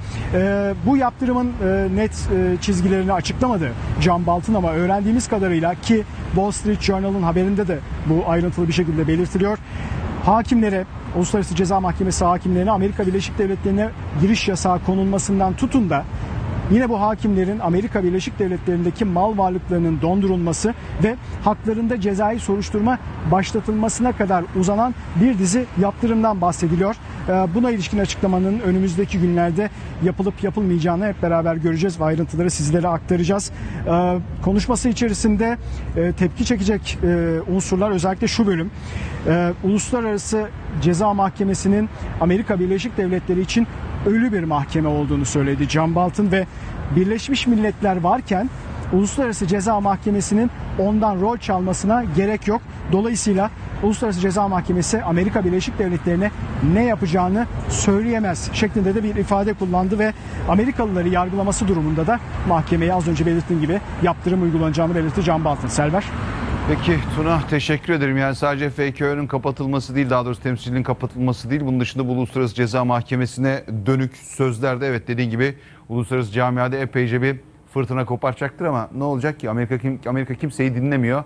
Tıpkı o senin de belirttiğin hani e, kendini terörist saldırı sözde terörist saldırılardan koruyan İsrail var ya. Şimdi o İsrail'in ne yaptığını anlatacağım biraz sonra. Teşekkür ediyoruz tekrar Tuna'ya. Şimdi efendim e, e, İsrail askerleri Filistinlilere bir kez daha gerçek mermilerle saldırdı. Gazze ablukasını deniz yoluyla kırma girişimine sert müdahale etti. 10 Filistinlinin yaralandığı saldırılarda e, şehit olup olmadığına ilişkin açıklama henüz yapılmadı. Yaralılar arasında gazetecilerin de olduğu belirtiliyor. Gazze'deki iskeleden açılan 20 kayığa yüzlerce Filistinli sahilden destek verdi. Kayıklar sınıra yaklaştığında İsrail askerleri Filistinli aktivistleri gerçek mermilerinin kullanıldığı yoğun ateşle durdurdu. Gazze ablukasını kırma ulusal hareketi tarafından gerçekleştirilen 7. girişimde başarısız oldu. İsrail askerleri daha önce de Filistinlilere gerçek mermilerle saldırdı. Son olarak 7 Eylül'de düzenlenen büyük dönüş yürüyüşünde kalabalığa kurşun yağdırıldı. Saldırıda bir kişi hayatını kaybetmiş, içinde çocukların da olduğu 100 kişi yaralanmıştı. Dönelim tekrar Trump yönetimine. Trump yönetiminin çok sayıda ülkeye yönelik ticaret savaşı geri tepiyor. Çin'in ABD karşısındaki ticaret fazlası Ağustos ayında da büyüdü. Amerika Birleşik Devletleri Başkanı Trump, ticari yaptırım ve ek vergilerle çok sayıda ülkeyi hedef aldı. Ancak başlattığı ticaret savaşları kendine olumsuz dönmeye başladı. Washington'ı üzecek haber, Çin gümrük verilerinin açıklanmasıyla ortaya çıktı. Temmuz ayında 28 milyar dolar civarında olan Pekin'in Amerika Birleşik Devletleri karşısındaki dış ticaret fazlası yaklaşık 3 milyar dolar yükselerek 31 milyar doları aştı. Amerika Birleşik Devletleri'nin 50 milyar dolarlık Çin malına getirdiği ek gümrük vergileri Ağustos'ta bir ayını doldurdu. Buna rağmen Çin'in bu ülkeye ihracatı yine de artış gösterdi. Çin'in ticaret fazlasında artış olmasıyla Trump'ın agresif ekonomi politikasının sorgulanması bekleniyor. Bu durumun aynı zamanda Amerika Birleşik Devletleri Başkanı Donald Trump'ı Çin'le girdiği ticaret kavgasında daha ileriye gitmeye yöneltebileceği yorumları da yapılıyor. Bu arada e, NATO'dan bir tepki var. Rusya ile Çin'in birlikte gerçekleştireceği askeri tatbikat sert tepki gösterdi. NATO sözcüsü 300 bine yakın askerin katılacağı Vostok 2018 tatbikatı için Rusya büyük bir savaşa odaklanıyor yorumunda bulundu. Rusya ile Çin 11 Eylül 11-17 Eylül tarihleri arasında yaklaşık 300 bin askerle dev bir askeri tatbikat gerçekleştirecek. Hava, kara ve denizde gerçekleşecek geniş çaplı tatbikata NATO'dan sert bir tepki geldi. NATO sözcüsü Oana Lungescu, Vostok tatbikatı Rusya'nın büyük ölçekli çatışmaya odaklandığını gösteriyor dedi. Sözcü savunma bütçesini ve askeri gücünü artıran daha agresif bir Rusya'yla karşı karşıyayız diye de devam etti. Rusya'da gerçekleşecek tatbikata Türkiye'de davet edilmişti. Tatbikatta binden fazla uçak, helikopter ve insansız hava aracının yanı sıra yaklaşık 36 bin tank ve 80'e yakın geminin görev yapması bekleniyor. Demokratik Kongo Cumhuriyeti'nde Ebola virüsünden ölümler hızlandı. Salgında şu ana kadar en az 59 kişi hayatını kaybetti. Kuzey Kivu eyaletinde başlayan salgında tespit edilen kanamalı ateş vakası 131'e çıkarken bunlardan 100'ünün Ebola virüsü taşıdığı kesinleşti. Söz konusu 100 kişiden 5'inin de hayatını kaybetmesiyle virüsün kurbanlarının sayısı 59'a çıktı. Öte yandan 131 kanamalı ateş vakası arasında sayılan ancak Ebola'dan kaynaklandığı kesinleşmeyen 30 ölüm daha bulunuyor. Bu ölümlerin salgının duyulmasından önce olması ve Ebola'nın bulaşma riski bulunması nedeniyle mezarlar açılamıyor. Ölüm sebeplerinin tespitine ilişkin testler yapılamıyor. İlk kez 1976'da Demokratik Kongo Cumhuriyeti'nde ortaya çıkan Ebola 2013 yılında Batı Afrika'da yeniden görülmüştü. 2014 ile 2017 yılları arasında yine Liberya ve Sierra Leone'de 11 binden fazla kişi hayatını Ebola'dan kaybetti. Almanya'da yeni bir ırkçı gerginlik yaşanıyor. İki hafta önce bir Almanın öldürülmesiyle yükselen tansiyon düşmeden bu kez Köthen kentinden bir ölüm haberi geldi. İki grup arasında çıkan kavgada bir Alman öldü. iki Afgan gözaltına alındı. Kentte aşırı sağcılar sokaklara döküldü. Nordenham kentinde Selimiye Camii'ne de saldırı düzenlendi. Hier auf diesem Spielplatz in Köthen. Almanya'nın doğusundaki Köthen kentindeki çocuk parkında iki grup arasında tartışma yaşandı. Cumartesi gecesi çıkan kavgada 22 yaşında bir Alman hayatını kaybetti. Ülkede tansiyon bir kez daha yükseldi. Ölen Alman'ın otopsi raporunda kalp krizi sonucu hayatını kaybettiği belirtildi. İki Afgan'ın öldürme şüphesiyle gözaltına alınması kentte tansiyonu yükseltti. Böyle bir şeyin yaşanması korkutucu. Her zaman fikir ayrılıkları var. Ama insan hayatına mal olması kötü. Yabancılarla iyi geçinenler de var. Genelleme yapmamak gerek. Aşırı sağcılar taziye yürüyüşü düzenlerken sol gruplarda ırkçı sürek avı yaşanmaması için kentte toplandı. Almanya'nın Chemnitz kentinde iki hafta önce de bir Alman öldürülmüştü. Suriye ve Irak vatandaşı iki kişinin tutuklanması sonrası Chemnitz'te aşırı sağcılar yabancılara saldırmıştı. Diğer taraftan aşırı sağcı AFT partisinden bir milletvekili Münih'te protesto edildi. Milletvekilinin konuşması mülteci yanlıları tarafından engellendi. Nordenham kentinde ise Selimiye Camii'ne saldırı düzenlendi. AK Parti İstanbul Milletvekili Mustafa Yeneroğlu çirkin saldırıyı kınadı. Yeneroğlu, Alman kurumları benzer eylemlerin tekrarlanmaması için İslam düşmanlığıyla daha kararlı mücadele etmeli ifadesini kullandı. Dış haberler sayfamızın son haberi Fransa'dan. Fransa'nın Lyon kentindeki havalimanı film gibi bir kovalamacaya sahne oldu. Bir sürücü aracıyla polisten kaçarken uçuş pistine girdi. Polisin ısrarlı takibiyle yakalanan şüpheli gözaltına alındı. Pistin bir süreliğine uçuşlara kapatılmasıyla seferlerde, seferlerde de aksama yaşandı.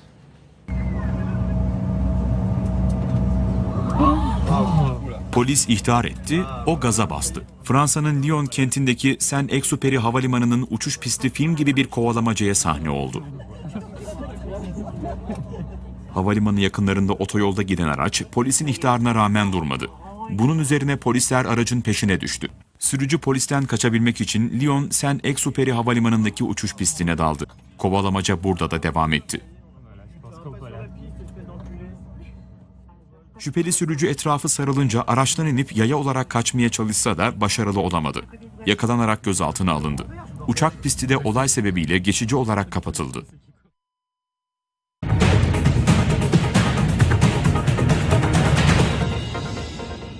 Evet, Fransa'daki polis adliye olayından Türkiye'deki polis adliye olaylarına bir dönüş yapalım. İstanbul'da bir lisede rehine krizi yaşandı. Birliğinden izinli olan bir piyade er, bir okulun okul aile birliğinde stajyer memur olarak çalışan nişanlısını rehin aldı efendim. Polisin ikna çabası bir buçuk saat sürdü. Saldırgan teslim oldu, genç kadın kurtuldu. Özel harekat polisleri müzakereciler geldi. Her şey zanlıyı ikna etmek içindi. Çünkü İstanbul'da bir kadın lisede rehin alındı. Korku dolu anların yaşandığı yer İstanbul Pendik. Melek Aknil çok programlı Anadolu Lisesi. Askerliğini piyade er olarak yapan zanlı Ude olay sırasında izinliydi. Lisede okul aile birliğinde çalışan nişanlısını tuvalette bıçakla rehin aldı.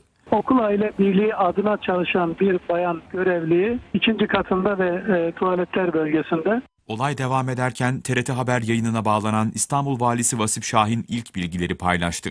müzakereci ekiplerimiz şu anda rehin alan kişiyle müzakere halindeler. Ama her ihtimale karşı da orada gerekli müdahale edecek ekiplerimizi, polis gücümüzü e, oraya sevk ettik. Özel harekat polisleri hemen olay yerine gitti. Müzakereci polisler de zanlıyı ikna etmeye çalıştılar. Müzakere timlerinin yaklaşık bir buçuk saatlik çabası sonuç verdi. Zanlının teslim olmasıyla da Pendik'teki lisede güvenlik yeniden sağlanmış oldu. Genç kadını rehin alan zanlı polislere teslim oldu.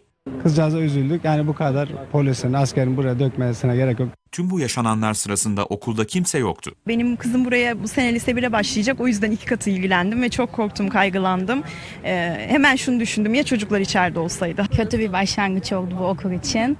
Ama iyi ki içeride öğrenciler yoktu. Daha uyum süreci vardı. Olayın ardından hastaneye götürülen genç kadının sağlık durumunun iyi olduğu öğrenildi. Adana'da telefon dolandırıcılığı yapan bir çetenin liderinin 2 milyonluk servetine polis operasyonuyla el konuldu. Dolandırılan 86 kişi paralarını geri almak için milli emlağa devredilen araç, çiftlik ve hayvanların satışını bekliyor. Emniyet Teşkilatı'nın uyarıları halkın telefon dolandırıcılarına para kaptırmasının önüne geçemiyor. 5 Nisan'da Adana merkezli olarak 10 ilde bir dolandırıcılık çetesine operasyon düzenlendi. Çok sayıda kişiyi telefonla dolandırdığı belirlenen çetenin liderinin de aralarında bulunduğu 43 kişi tutuklandı. Ancak paralara ulaşılamayınca polis takibini sürdürdü. Çete lideri Ahmet Ergün'ün arkadaşları ve akrabaları takibe alındı. Zanlının dolandırıcılıktan elde ettiği parayla iki tır, bir minibüs, iki tarla ve bir çiftlikle çiftlik hayvanları satın aldığı belirlendi. Söz konusu çiftlik hayvanları arasında tanesi 1000 lira olan 11 tavuk da bulunuyor. Ele geçirilen araç arsa ve hayvanların Ahmet Ergün'ün akrabalarının üzerine kaydedildiği belirlendi. Telefon dolandırıcılarının mağduru olan 86 kişi paralarını geri alabilmek için Milli Emlak Müdürlüğü'ne devredilen malların satışını bekliyor.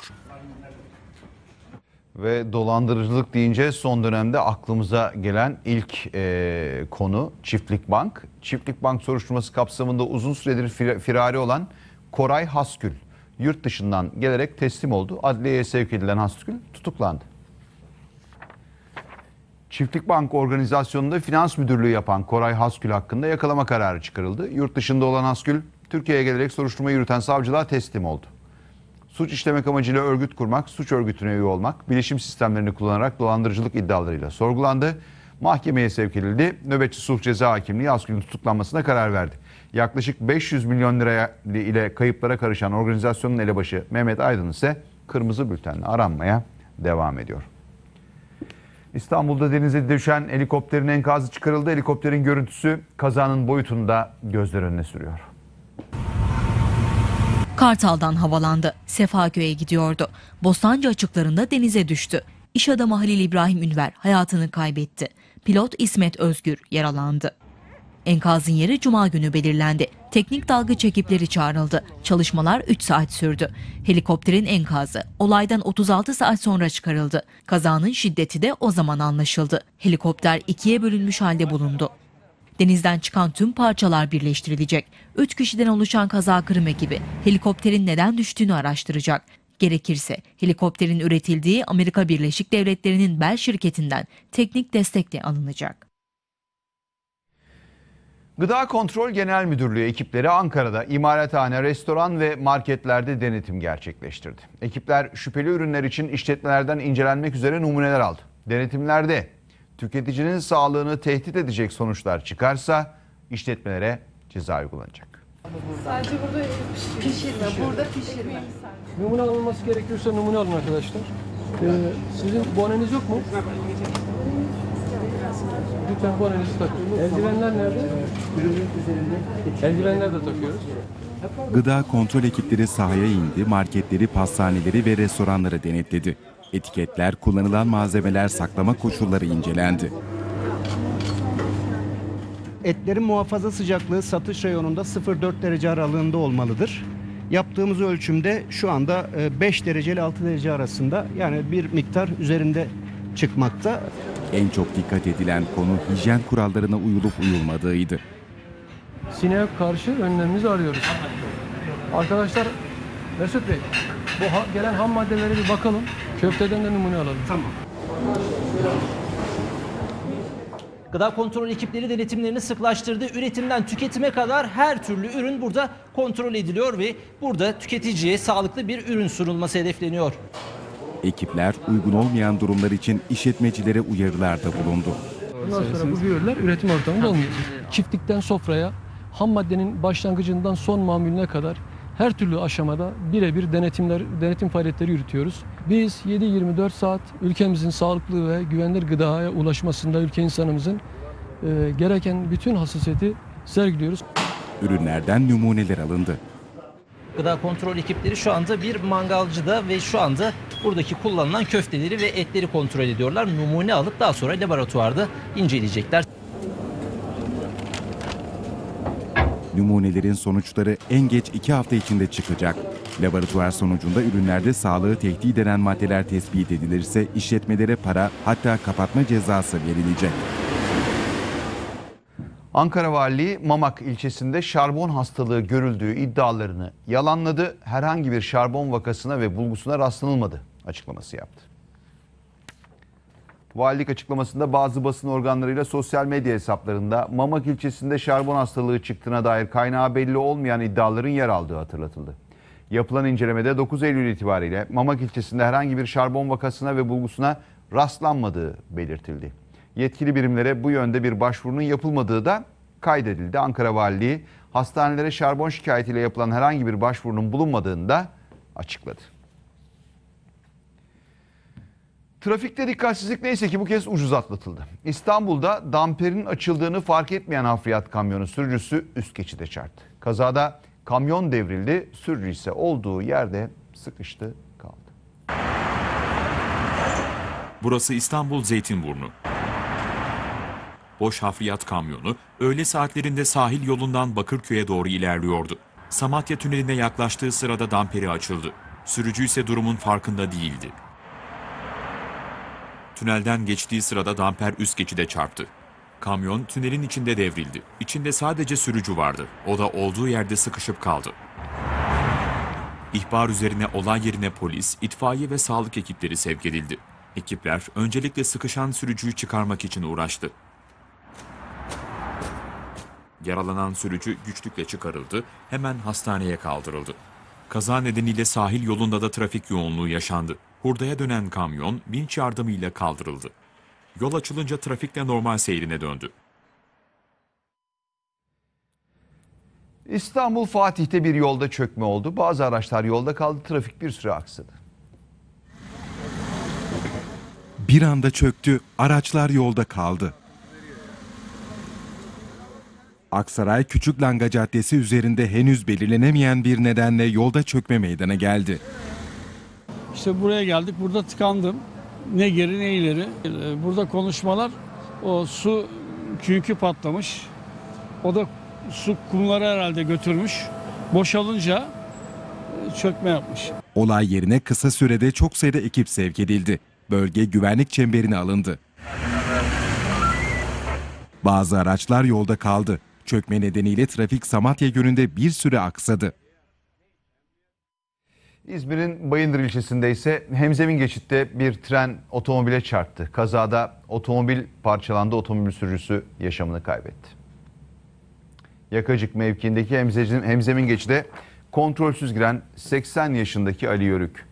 Ali Yörük'ün kullandığı otomobile Ödemiş İzmir seferini yapan banliyö treni çarptı.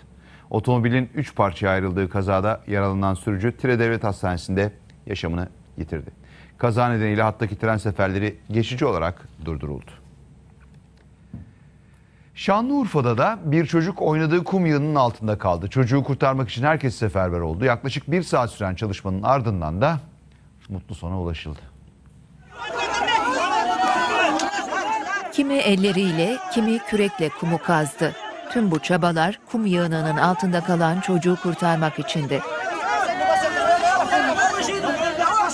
Şanlıurfa'nın Ceylanpınar ilçesinde 7 yaşındaki çocuk biriket imalathanesinin bulunduğu bölgedeki kum yığını üzerinde oynuyordu. O sırada bölgede belirlenemeyen bir nedenle göçük meydana geldi. Çocuk kum yığınının altında kaldı. Çocuğun bağırma sesini duyanlar hemen yardıma koştu.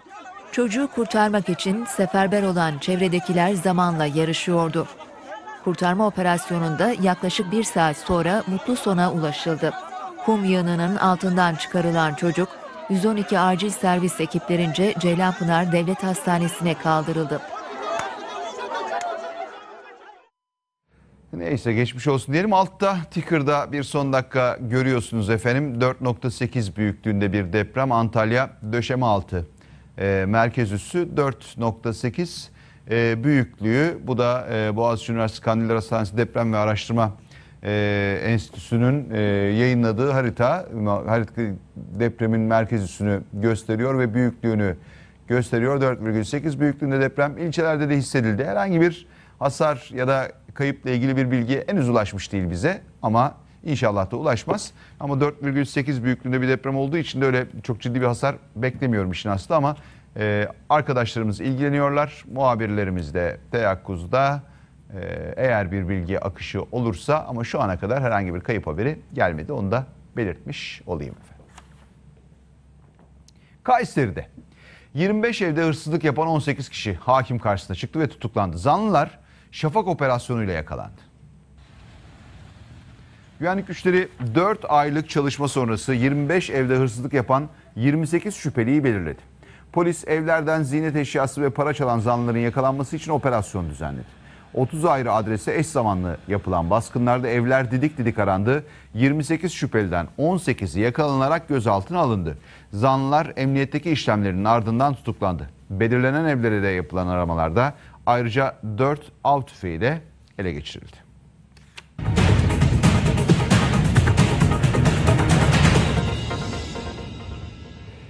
Savaş mağduru iki kuzen şifayı Türkiye'de buldu. Irak'taki savaştan kaçarak Türkiye'ye sığınan ve kronik böbrek yetmezliği testi konulan Türkmen kuzenlerden biri başarılı bir ameliyatla sağlığına kavuştu.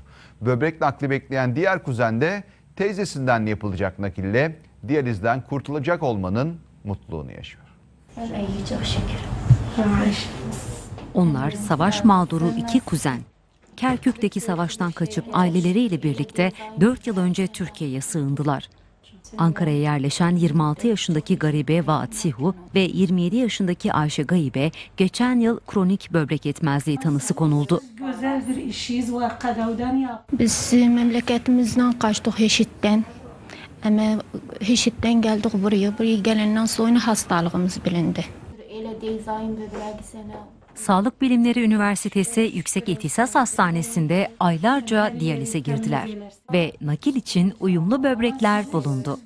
Rahatsızlıkları nedeniyle diyaliz sürecine giren hastalardan garibe annesinden alınan böbrekle sağlığına kavuştu. Çok şükür olsun Allah'a. Diyalizden kurtulduk. İnsan insanda bitiyor. Savaş mağduru kuzenlerden Ayşe'nin dokularının teyzesiyle uyuştuğu tespit edildi. Çok yakın zamanda böbrek nakli olacak ve kuzeni gibi o da diyalizden kurtulup sağlığına kavuşacak. İnşallah. İnşallah. Şimdi halamın kızına yapmışlar böbrek. Maşallah iyileşmiş. Her şey yapabiliyor. İnşallah ben de iyileşirim. O da e, yine ikisi e, bir şekilde sağlıklı bir şekilde hayatlarına devam edecekler. Birisini yaptık, birisi bu hafta içinde yapacağız inşallah. Bölgemizde ve Avrupa'da birçok merkezin çok üstünde verimli bir şekilde çalışıyoruz. Türkmen kuzenler tüm savaş mağdurlarının Türkiye'de en güzel şekilde ağırlandıklarına dikkat çektiler.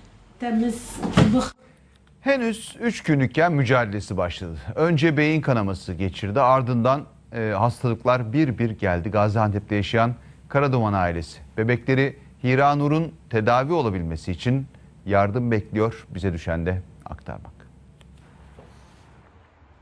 Hiran Nur bebek bir buçuk yaşında. Daha dünyaya gözlerini açar açmaz beyin kanaması geçirdi. Günlerce yoğun bakımda kaldı. Gün geçtikçe rahatsızlığı farklı hastalıkları tetikledi. Hiranur 18 aylık bir bebek. İddiaya göre doğum sırasında beyninden aldığı darbe sonrasında beyin kanaması geçirdi. Önce felç oldu. Daha sonra 5 ayrı hastalık arka arkaya çıktı. Şu anda annesinin şırıngayla beslediği Hiranur bebek gözlerini de kaybetme tehlikesiyle karşı karşıya. Beyindeki hasar göze vuruyormuş, göz sinirlerine kuruma yapıyormuş. Hiranur bebek yutkunamadığı için tükürüğü cihaza bağlı ince bir hortumla her iki saatte çekiliyor. Yutma bozukluğu çıktı. Sonra midesine hortum atıldı. Ee, o ameliyat esnasında yemek borusu yarılmış. İşte metabolik hastalığı var, spastik özürlü, hipotonik bebek, ee, ağır serebral palsi hastası. Hiranur bebek ailesinin maddi durumu sebebiyle tedavi olamıyor. Araştırdık. Ankara'da çaresi varmış. Yani bir ihtimal, bir umudumuz var. Hani yardımseverlerden de yardımları bekliyoruz. Toplam 15-16 milyar falan gidiyormuş. Sadece hastaneye. Karaduman ailesi kendilerine uzanacak yardım eli bekliyor. Allah kolaylık versin efendim. Türkiye'de bol miktarda bulunan bor mineralinin enerjinin yanı sıra bir kullanım alanı daha ortaya çıktı. Manisa Celal Bayar Üniversitesi'nde yapılan araştırmada borun prostat büyümesini engelleyebildiğine ilişkin bulgulara rastlandı. Tedavi için geliştirilen ilaç prototipinin patent başvurusu da kabul edildi. Celal Bayar Üniversitesi Tıbbi Biyoloji Anabilim Dalı Başkanı Profesör Doktor Mehmet Korkmaz ve ekibi 2009'da bir çalışma başlattı. Bor mineralinin iyi huylu prostat büyümesini önleyebileceğini keşfettiler. Erkek bireyler üzerindeki e, çalışmada doğal yolla alınan e, bor miktarının günlük 6,5 miligram civarında bunun e, prostat büyümesini e, engellediği konusunda ilk e, bulgulara ulaşmıştık. 2014 yılında e, TÜBİTAK'tan destek alarak 3 yıllık bir proje başlattık. 3 yıl süren e, araştırma sonucunda iyi huylu prostat büyümesinin e, mekanizmasında yangının ya da enflamasyonun rol aldığı ve bu enflamasyonun e, durdurulmasında yeni sentezlediğimiz bor bileşiğinin e, etkin olduğunu ortaya koyduk. Korkmaz ve ekibi geliştirdikleri ilaç prototipi için patent başvurusu yaptı. Başvuru ilk aşamayı geçti ve kabul edildi. Türkiye'de de yok, dünyada da yok. İlk defa bizim ortaya koyduğumuz bir araştırmadır. İlk defa bu bulgular, bu e, veriler bize aittir. Yani dileğimiz bunun e, tüm ülkemizle birlikte tüm dünyada kullanıma açılmasıdır. Efendim hiçbir engel hayatı yaşamamıza ve ondan keyif almamıza engel değil. Bunun en güzel örneklerinden biri de Japonyalı bir hemşire olan Manami Ito. 2004 yılında bir trafik kazası geçiriyor ve kolunu kaybediyor Ito. Ancak yaşam sevincini kaybetmiyor ve ne oluyor biliyor musunuz? Keman virtüözü. İsmi Manami Ito, Japonya'da yaşayan bir hemşire. 2004 yılında geçirdiği trafik kazasında sağ kolunu kaybetti. Ancak müzik sevgisi tüm engelleri aşmasını sağladı.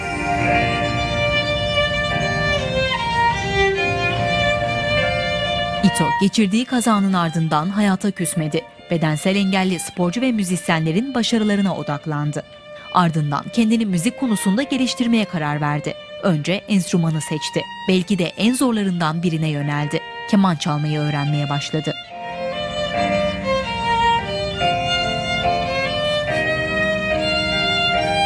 Kısa sürede büyük yol kat etti Ito ve tek kolu olmasına rağmen engelleri aştı, keman virtüözü oldu. Ito azmi sayesinde başta Japonya olmak üzere birçok kent ve ülkede konserler veriyor. Batman'ın Hasankeyf ilçesinde baraj suyu altında kalacak tarihi eserleri nakil çalışması devam ediyor. Zeynel Bey Türbesi ve Türbesi ve Artuklu Hamamı'nın ardından bu kez 850 tonluk İmam Abdullah Zaviyesi'nin de türbe bölümü taşındı. 2 saat süren nakil işlemi başarılı şekilde tamamlandı. Önce Zeynel Bey Türbesi, ardından Artuklu Hamamı, şimdi de İmam Abdullah Zaviyesi. Batman'ın Hasankeyf ilçesinde Ilısu Barajı altında kalacak tarihi eserler birer birer yeni yerlerine taşınıyor.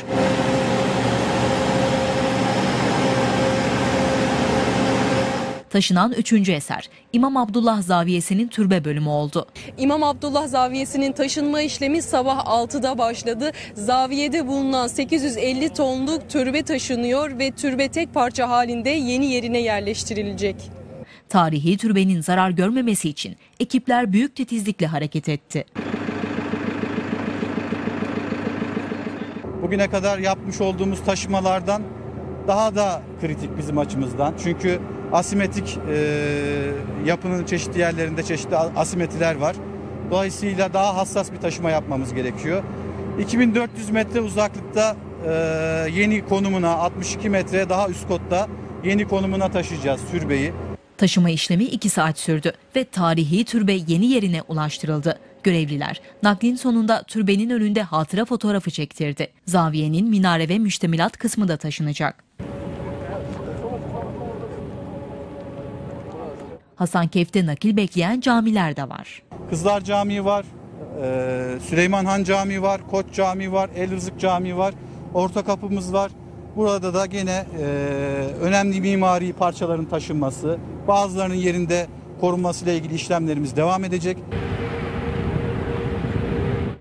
Efendim biraz önce bilgisini vermiştik sizlere saat 02.02'de olan Antalya'da gerçekleşen depremle ilgili 0, e, 4,8'di büyüklüğü. E, sevgili Ahmet, Ahmet Öçal Antalya'dan telefonda e, TRT muhabiri Ahmet'ten alacağız bilgileri. Ahmetciğim söz sende. Selver saat 02.02 sıralarında meydana geldi e, deprem. AFAD verilerine göre merkez üssü yine Antalya'nın merkez ilçelerinden Döşemealtı ilçesi olarak e, bildirildi ve e, e, 4.8 büyüklüğünde meydana geldi deprem. Yerin e, 47 metre kilometre e, altında meydana geldi. E, çok fazla hissedilmedi e, Antalya'da. E, şu ana kadar acil çağrı merkezlerine olumsuz herhangi bir şey e, ihbarı gelmedi. Ee, ancak dediğimiz gibi AFAD verilerine göre 4.8 büyüklüğünde bir depremdi ve yerin e, 47 kilometre altında meydana geldi deprem. Ee, saat 02.02 sıralarında merkez üssü ise Antalya'nın merkez ilçelerinden Döşemealtı ilçesi olarak e, verildi. AFAD e, verilerine göre e, depremin e, merkez üstü. E, dediğimiz gibi şu ana kadar e, acil çağrı merkezlerine herhangi bir olumsuz bilgi yansımadı. Bir ihbarda bulunulmadı. E, Sıkıntı yok yani. gelişmeleri takip ediyor olacağız. Evet Serdar, mal- e, çok güzel bir şeyimiz var ki e, depremde herhangi bir sıkıntı yok. İyi aman ne güzel Ahmetciğim. Teşekkür ederim aktardığın bilgiler için. Zaten onu öğrenmek için aramıştık seni. Sağ ol teşekkürler kolay gelsin sana. Ama aman kötü haber gönderme bize. Hep iyi haberler gönder eyvallah. Peki devam edelim efendim. Şimdi e, hava sıcaklıklarının mevsim normallerinin altına düştüğü Kaçkar ve Erciyes dağlarında ne oldu biliyor musunuz? Mevsimin ilk karı yağdı. Kaşgar'da kar yağışının başladığı o anlarsa dağcılar tarafından görüntülendi. Güzel bir kar yağışı var. Versenin ilk karını yedik. Bu görüntüler mevsimin ilk karının yağdığı Doğu Karadeniz'deki Kaçkar Dağları'nın Verçenik Tepesi'nden. Çayeli Doğa Sporları Kulübü sporcuları o anları amatör kameralarıyla görüntüledi. Kaçkar'da yer alan 2700 rakımlı yaylalara da kar yağdı. Yaşanacak olumsuzluklara karşı yaylacıların köylerine dönmeleri istendi. Bunun üzerine Çamlıhemşin yaylalarında bulunanlar hayvanlarını köylere indirmeye başladı. Türkiye'nin önemli kayak merkezlerinden Erciyes Dağı'na da Eylül ayında mevsimin ilk karı yağdı. Dün akşam saatlerinde etkisini gösteren yağmur gece kara dönüştü. Dağın zirvesine yakın Hörgüçkaya ve Şeytan Deresi bölgesinde kar kalınlığı 5 santimetreye kadar ulaştı. Yağan karın ardından Kayseri kent merkezinde hava sıcaklığı 10 derece birden düştü. Efendim 36 yıl önce Orta Asya'dan Van'ın Erciş ilçesine geldiler. Ata yurtları Pamir Yaylası'nın adını verdikleri köylerinde kültürlerini aynen muhafaza ettiler. Erciş'e bağlı Ulu Pamir köyünde yaşayan Kırgız Türkleri hem kültür turizminin hem de film sektörünün odağında. Cahilönün içi kirli Bin türlü güldür termeli Burası Orta Asya steplerinde bir Kırgız obası değil. Van'ın Erciş ilçesindeki Ulupamir köyü. 1982 yılında Afganistan'ın Pamir Yaylası'ndan geldiler. Tam 36 yıldır Van'ın Erciş ilçesindeki bu köyde yaşıyorlar. Geçen süreç içerisinde özlerinden kopmadılar. Orta Asya Türk kültürünü aynen yaşatıyorlar.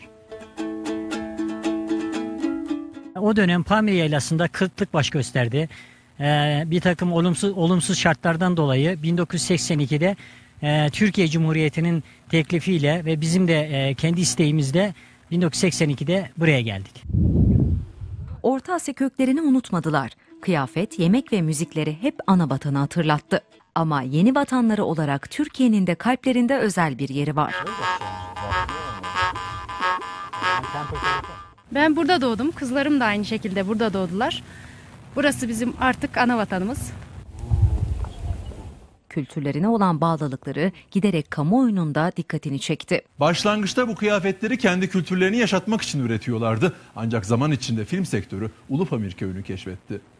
Şehitlerimizin kanının hesabını eninde sonunda soracağım. TRT'nin izlenme rekorları kıran dizisi Diriliş Ertuğrul için ürettikleri Börklerse son dönemin modasına damga vurdu. Genelde tarihi filmler, tarihi diziler e, çekmek isteyen e, rejiler olsun, film şirketleri olsun hemen bize başvuruyorlar. Sadece Türkiye geneli değil, Orta Asya'dan Kırgızistan, Kazakistan, Rusya, Özbekistan gibi ülkeler bile bize başvuruyorlar. Van'da kültür turizminin önemli noktaları arasında yer alan Ulupamir köyüne turist akını her geçen yıl artıyor. Ve Türkiye'nin havacılık ve uzay bilimleri alanındaki atağı İstanbul'da açılışı yapılacak Teknofest'le tüm dünyaya sergilenecek festivalde ziyaretçileri insansız hava araçlarının ve atak saldırı helikopterlerinin şovları bekliyor. Gençler de teknoloji alanındaki maharetlerini düzenlenecek yarışmalarda sergileyecek. Milli teknoloji hamlesiyle gelecek burada yazılıyor. Ayakları yere basmayan ilk festival Teknofest İstanbul başlıyor. Türkiye'nin ilk havacılık, uzay ve teknoloji festivali Teknofest İstanbul'un hazırlıkları tamamlanmak üzere. Festivalde yerli ve milli teknolojide ulaşılan seviye sergilenecek. Etkinliğin hedeflerinden biri de gençlerin bilime ilgisini arttırmak. Dört gün boyunca muhteşem havacılık gösterileri, teknoloji yarışmaları, rüzgar tüneli, sergiler, konserler ve eğlenceli etkinlikler Teknofest İstanbul'da. Festival kapsamında roket, otonom sistemler, yapay zeka ve insansız hava araçları dahil olmak üzere 12 kategoride teknoloji yarışmaları düzenlenecek.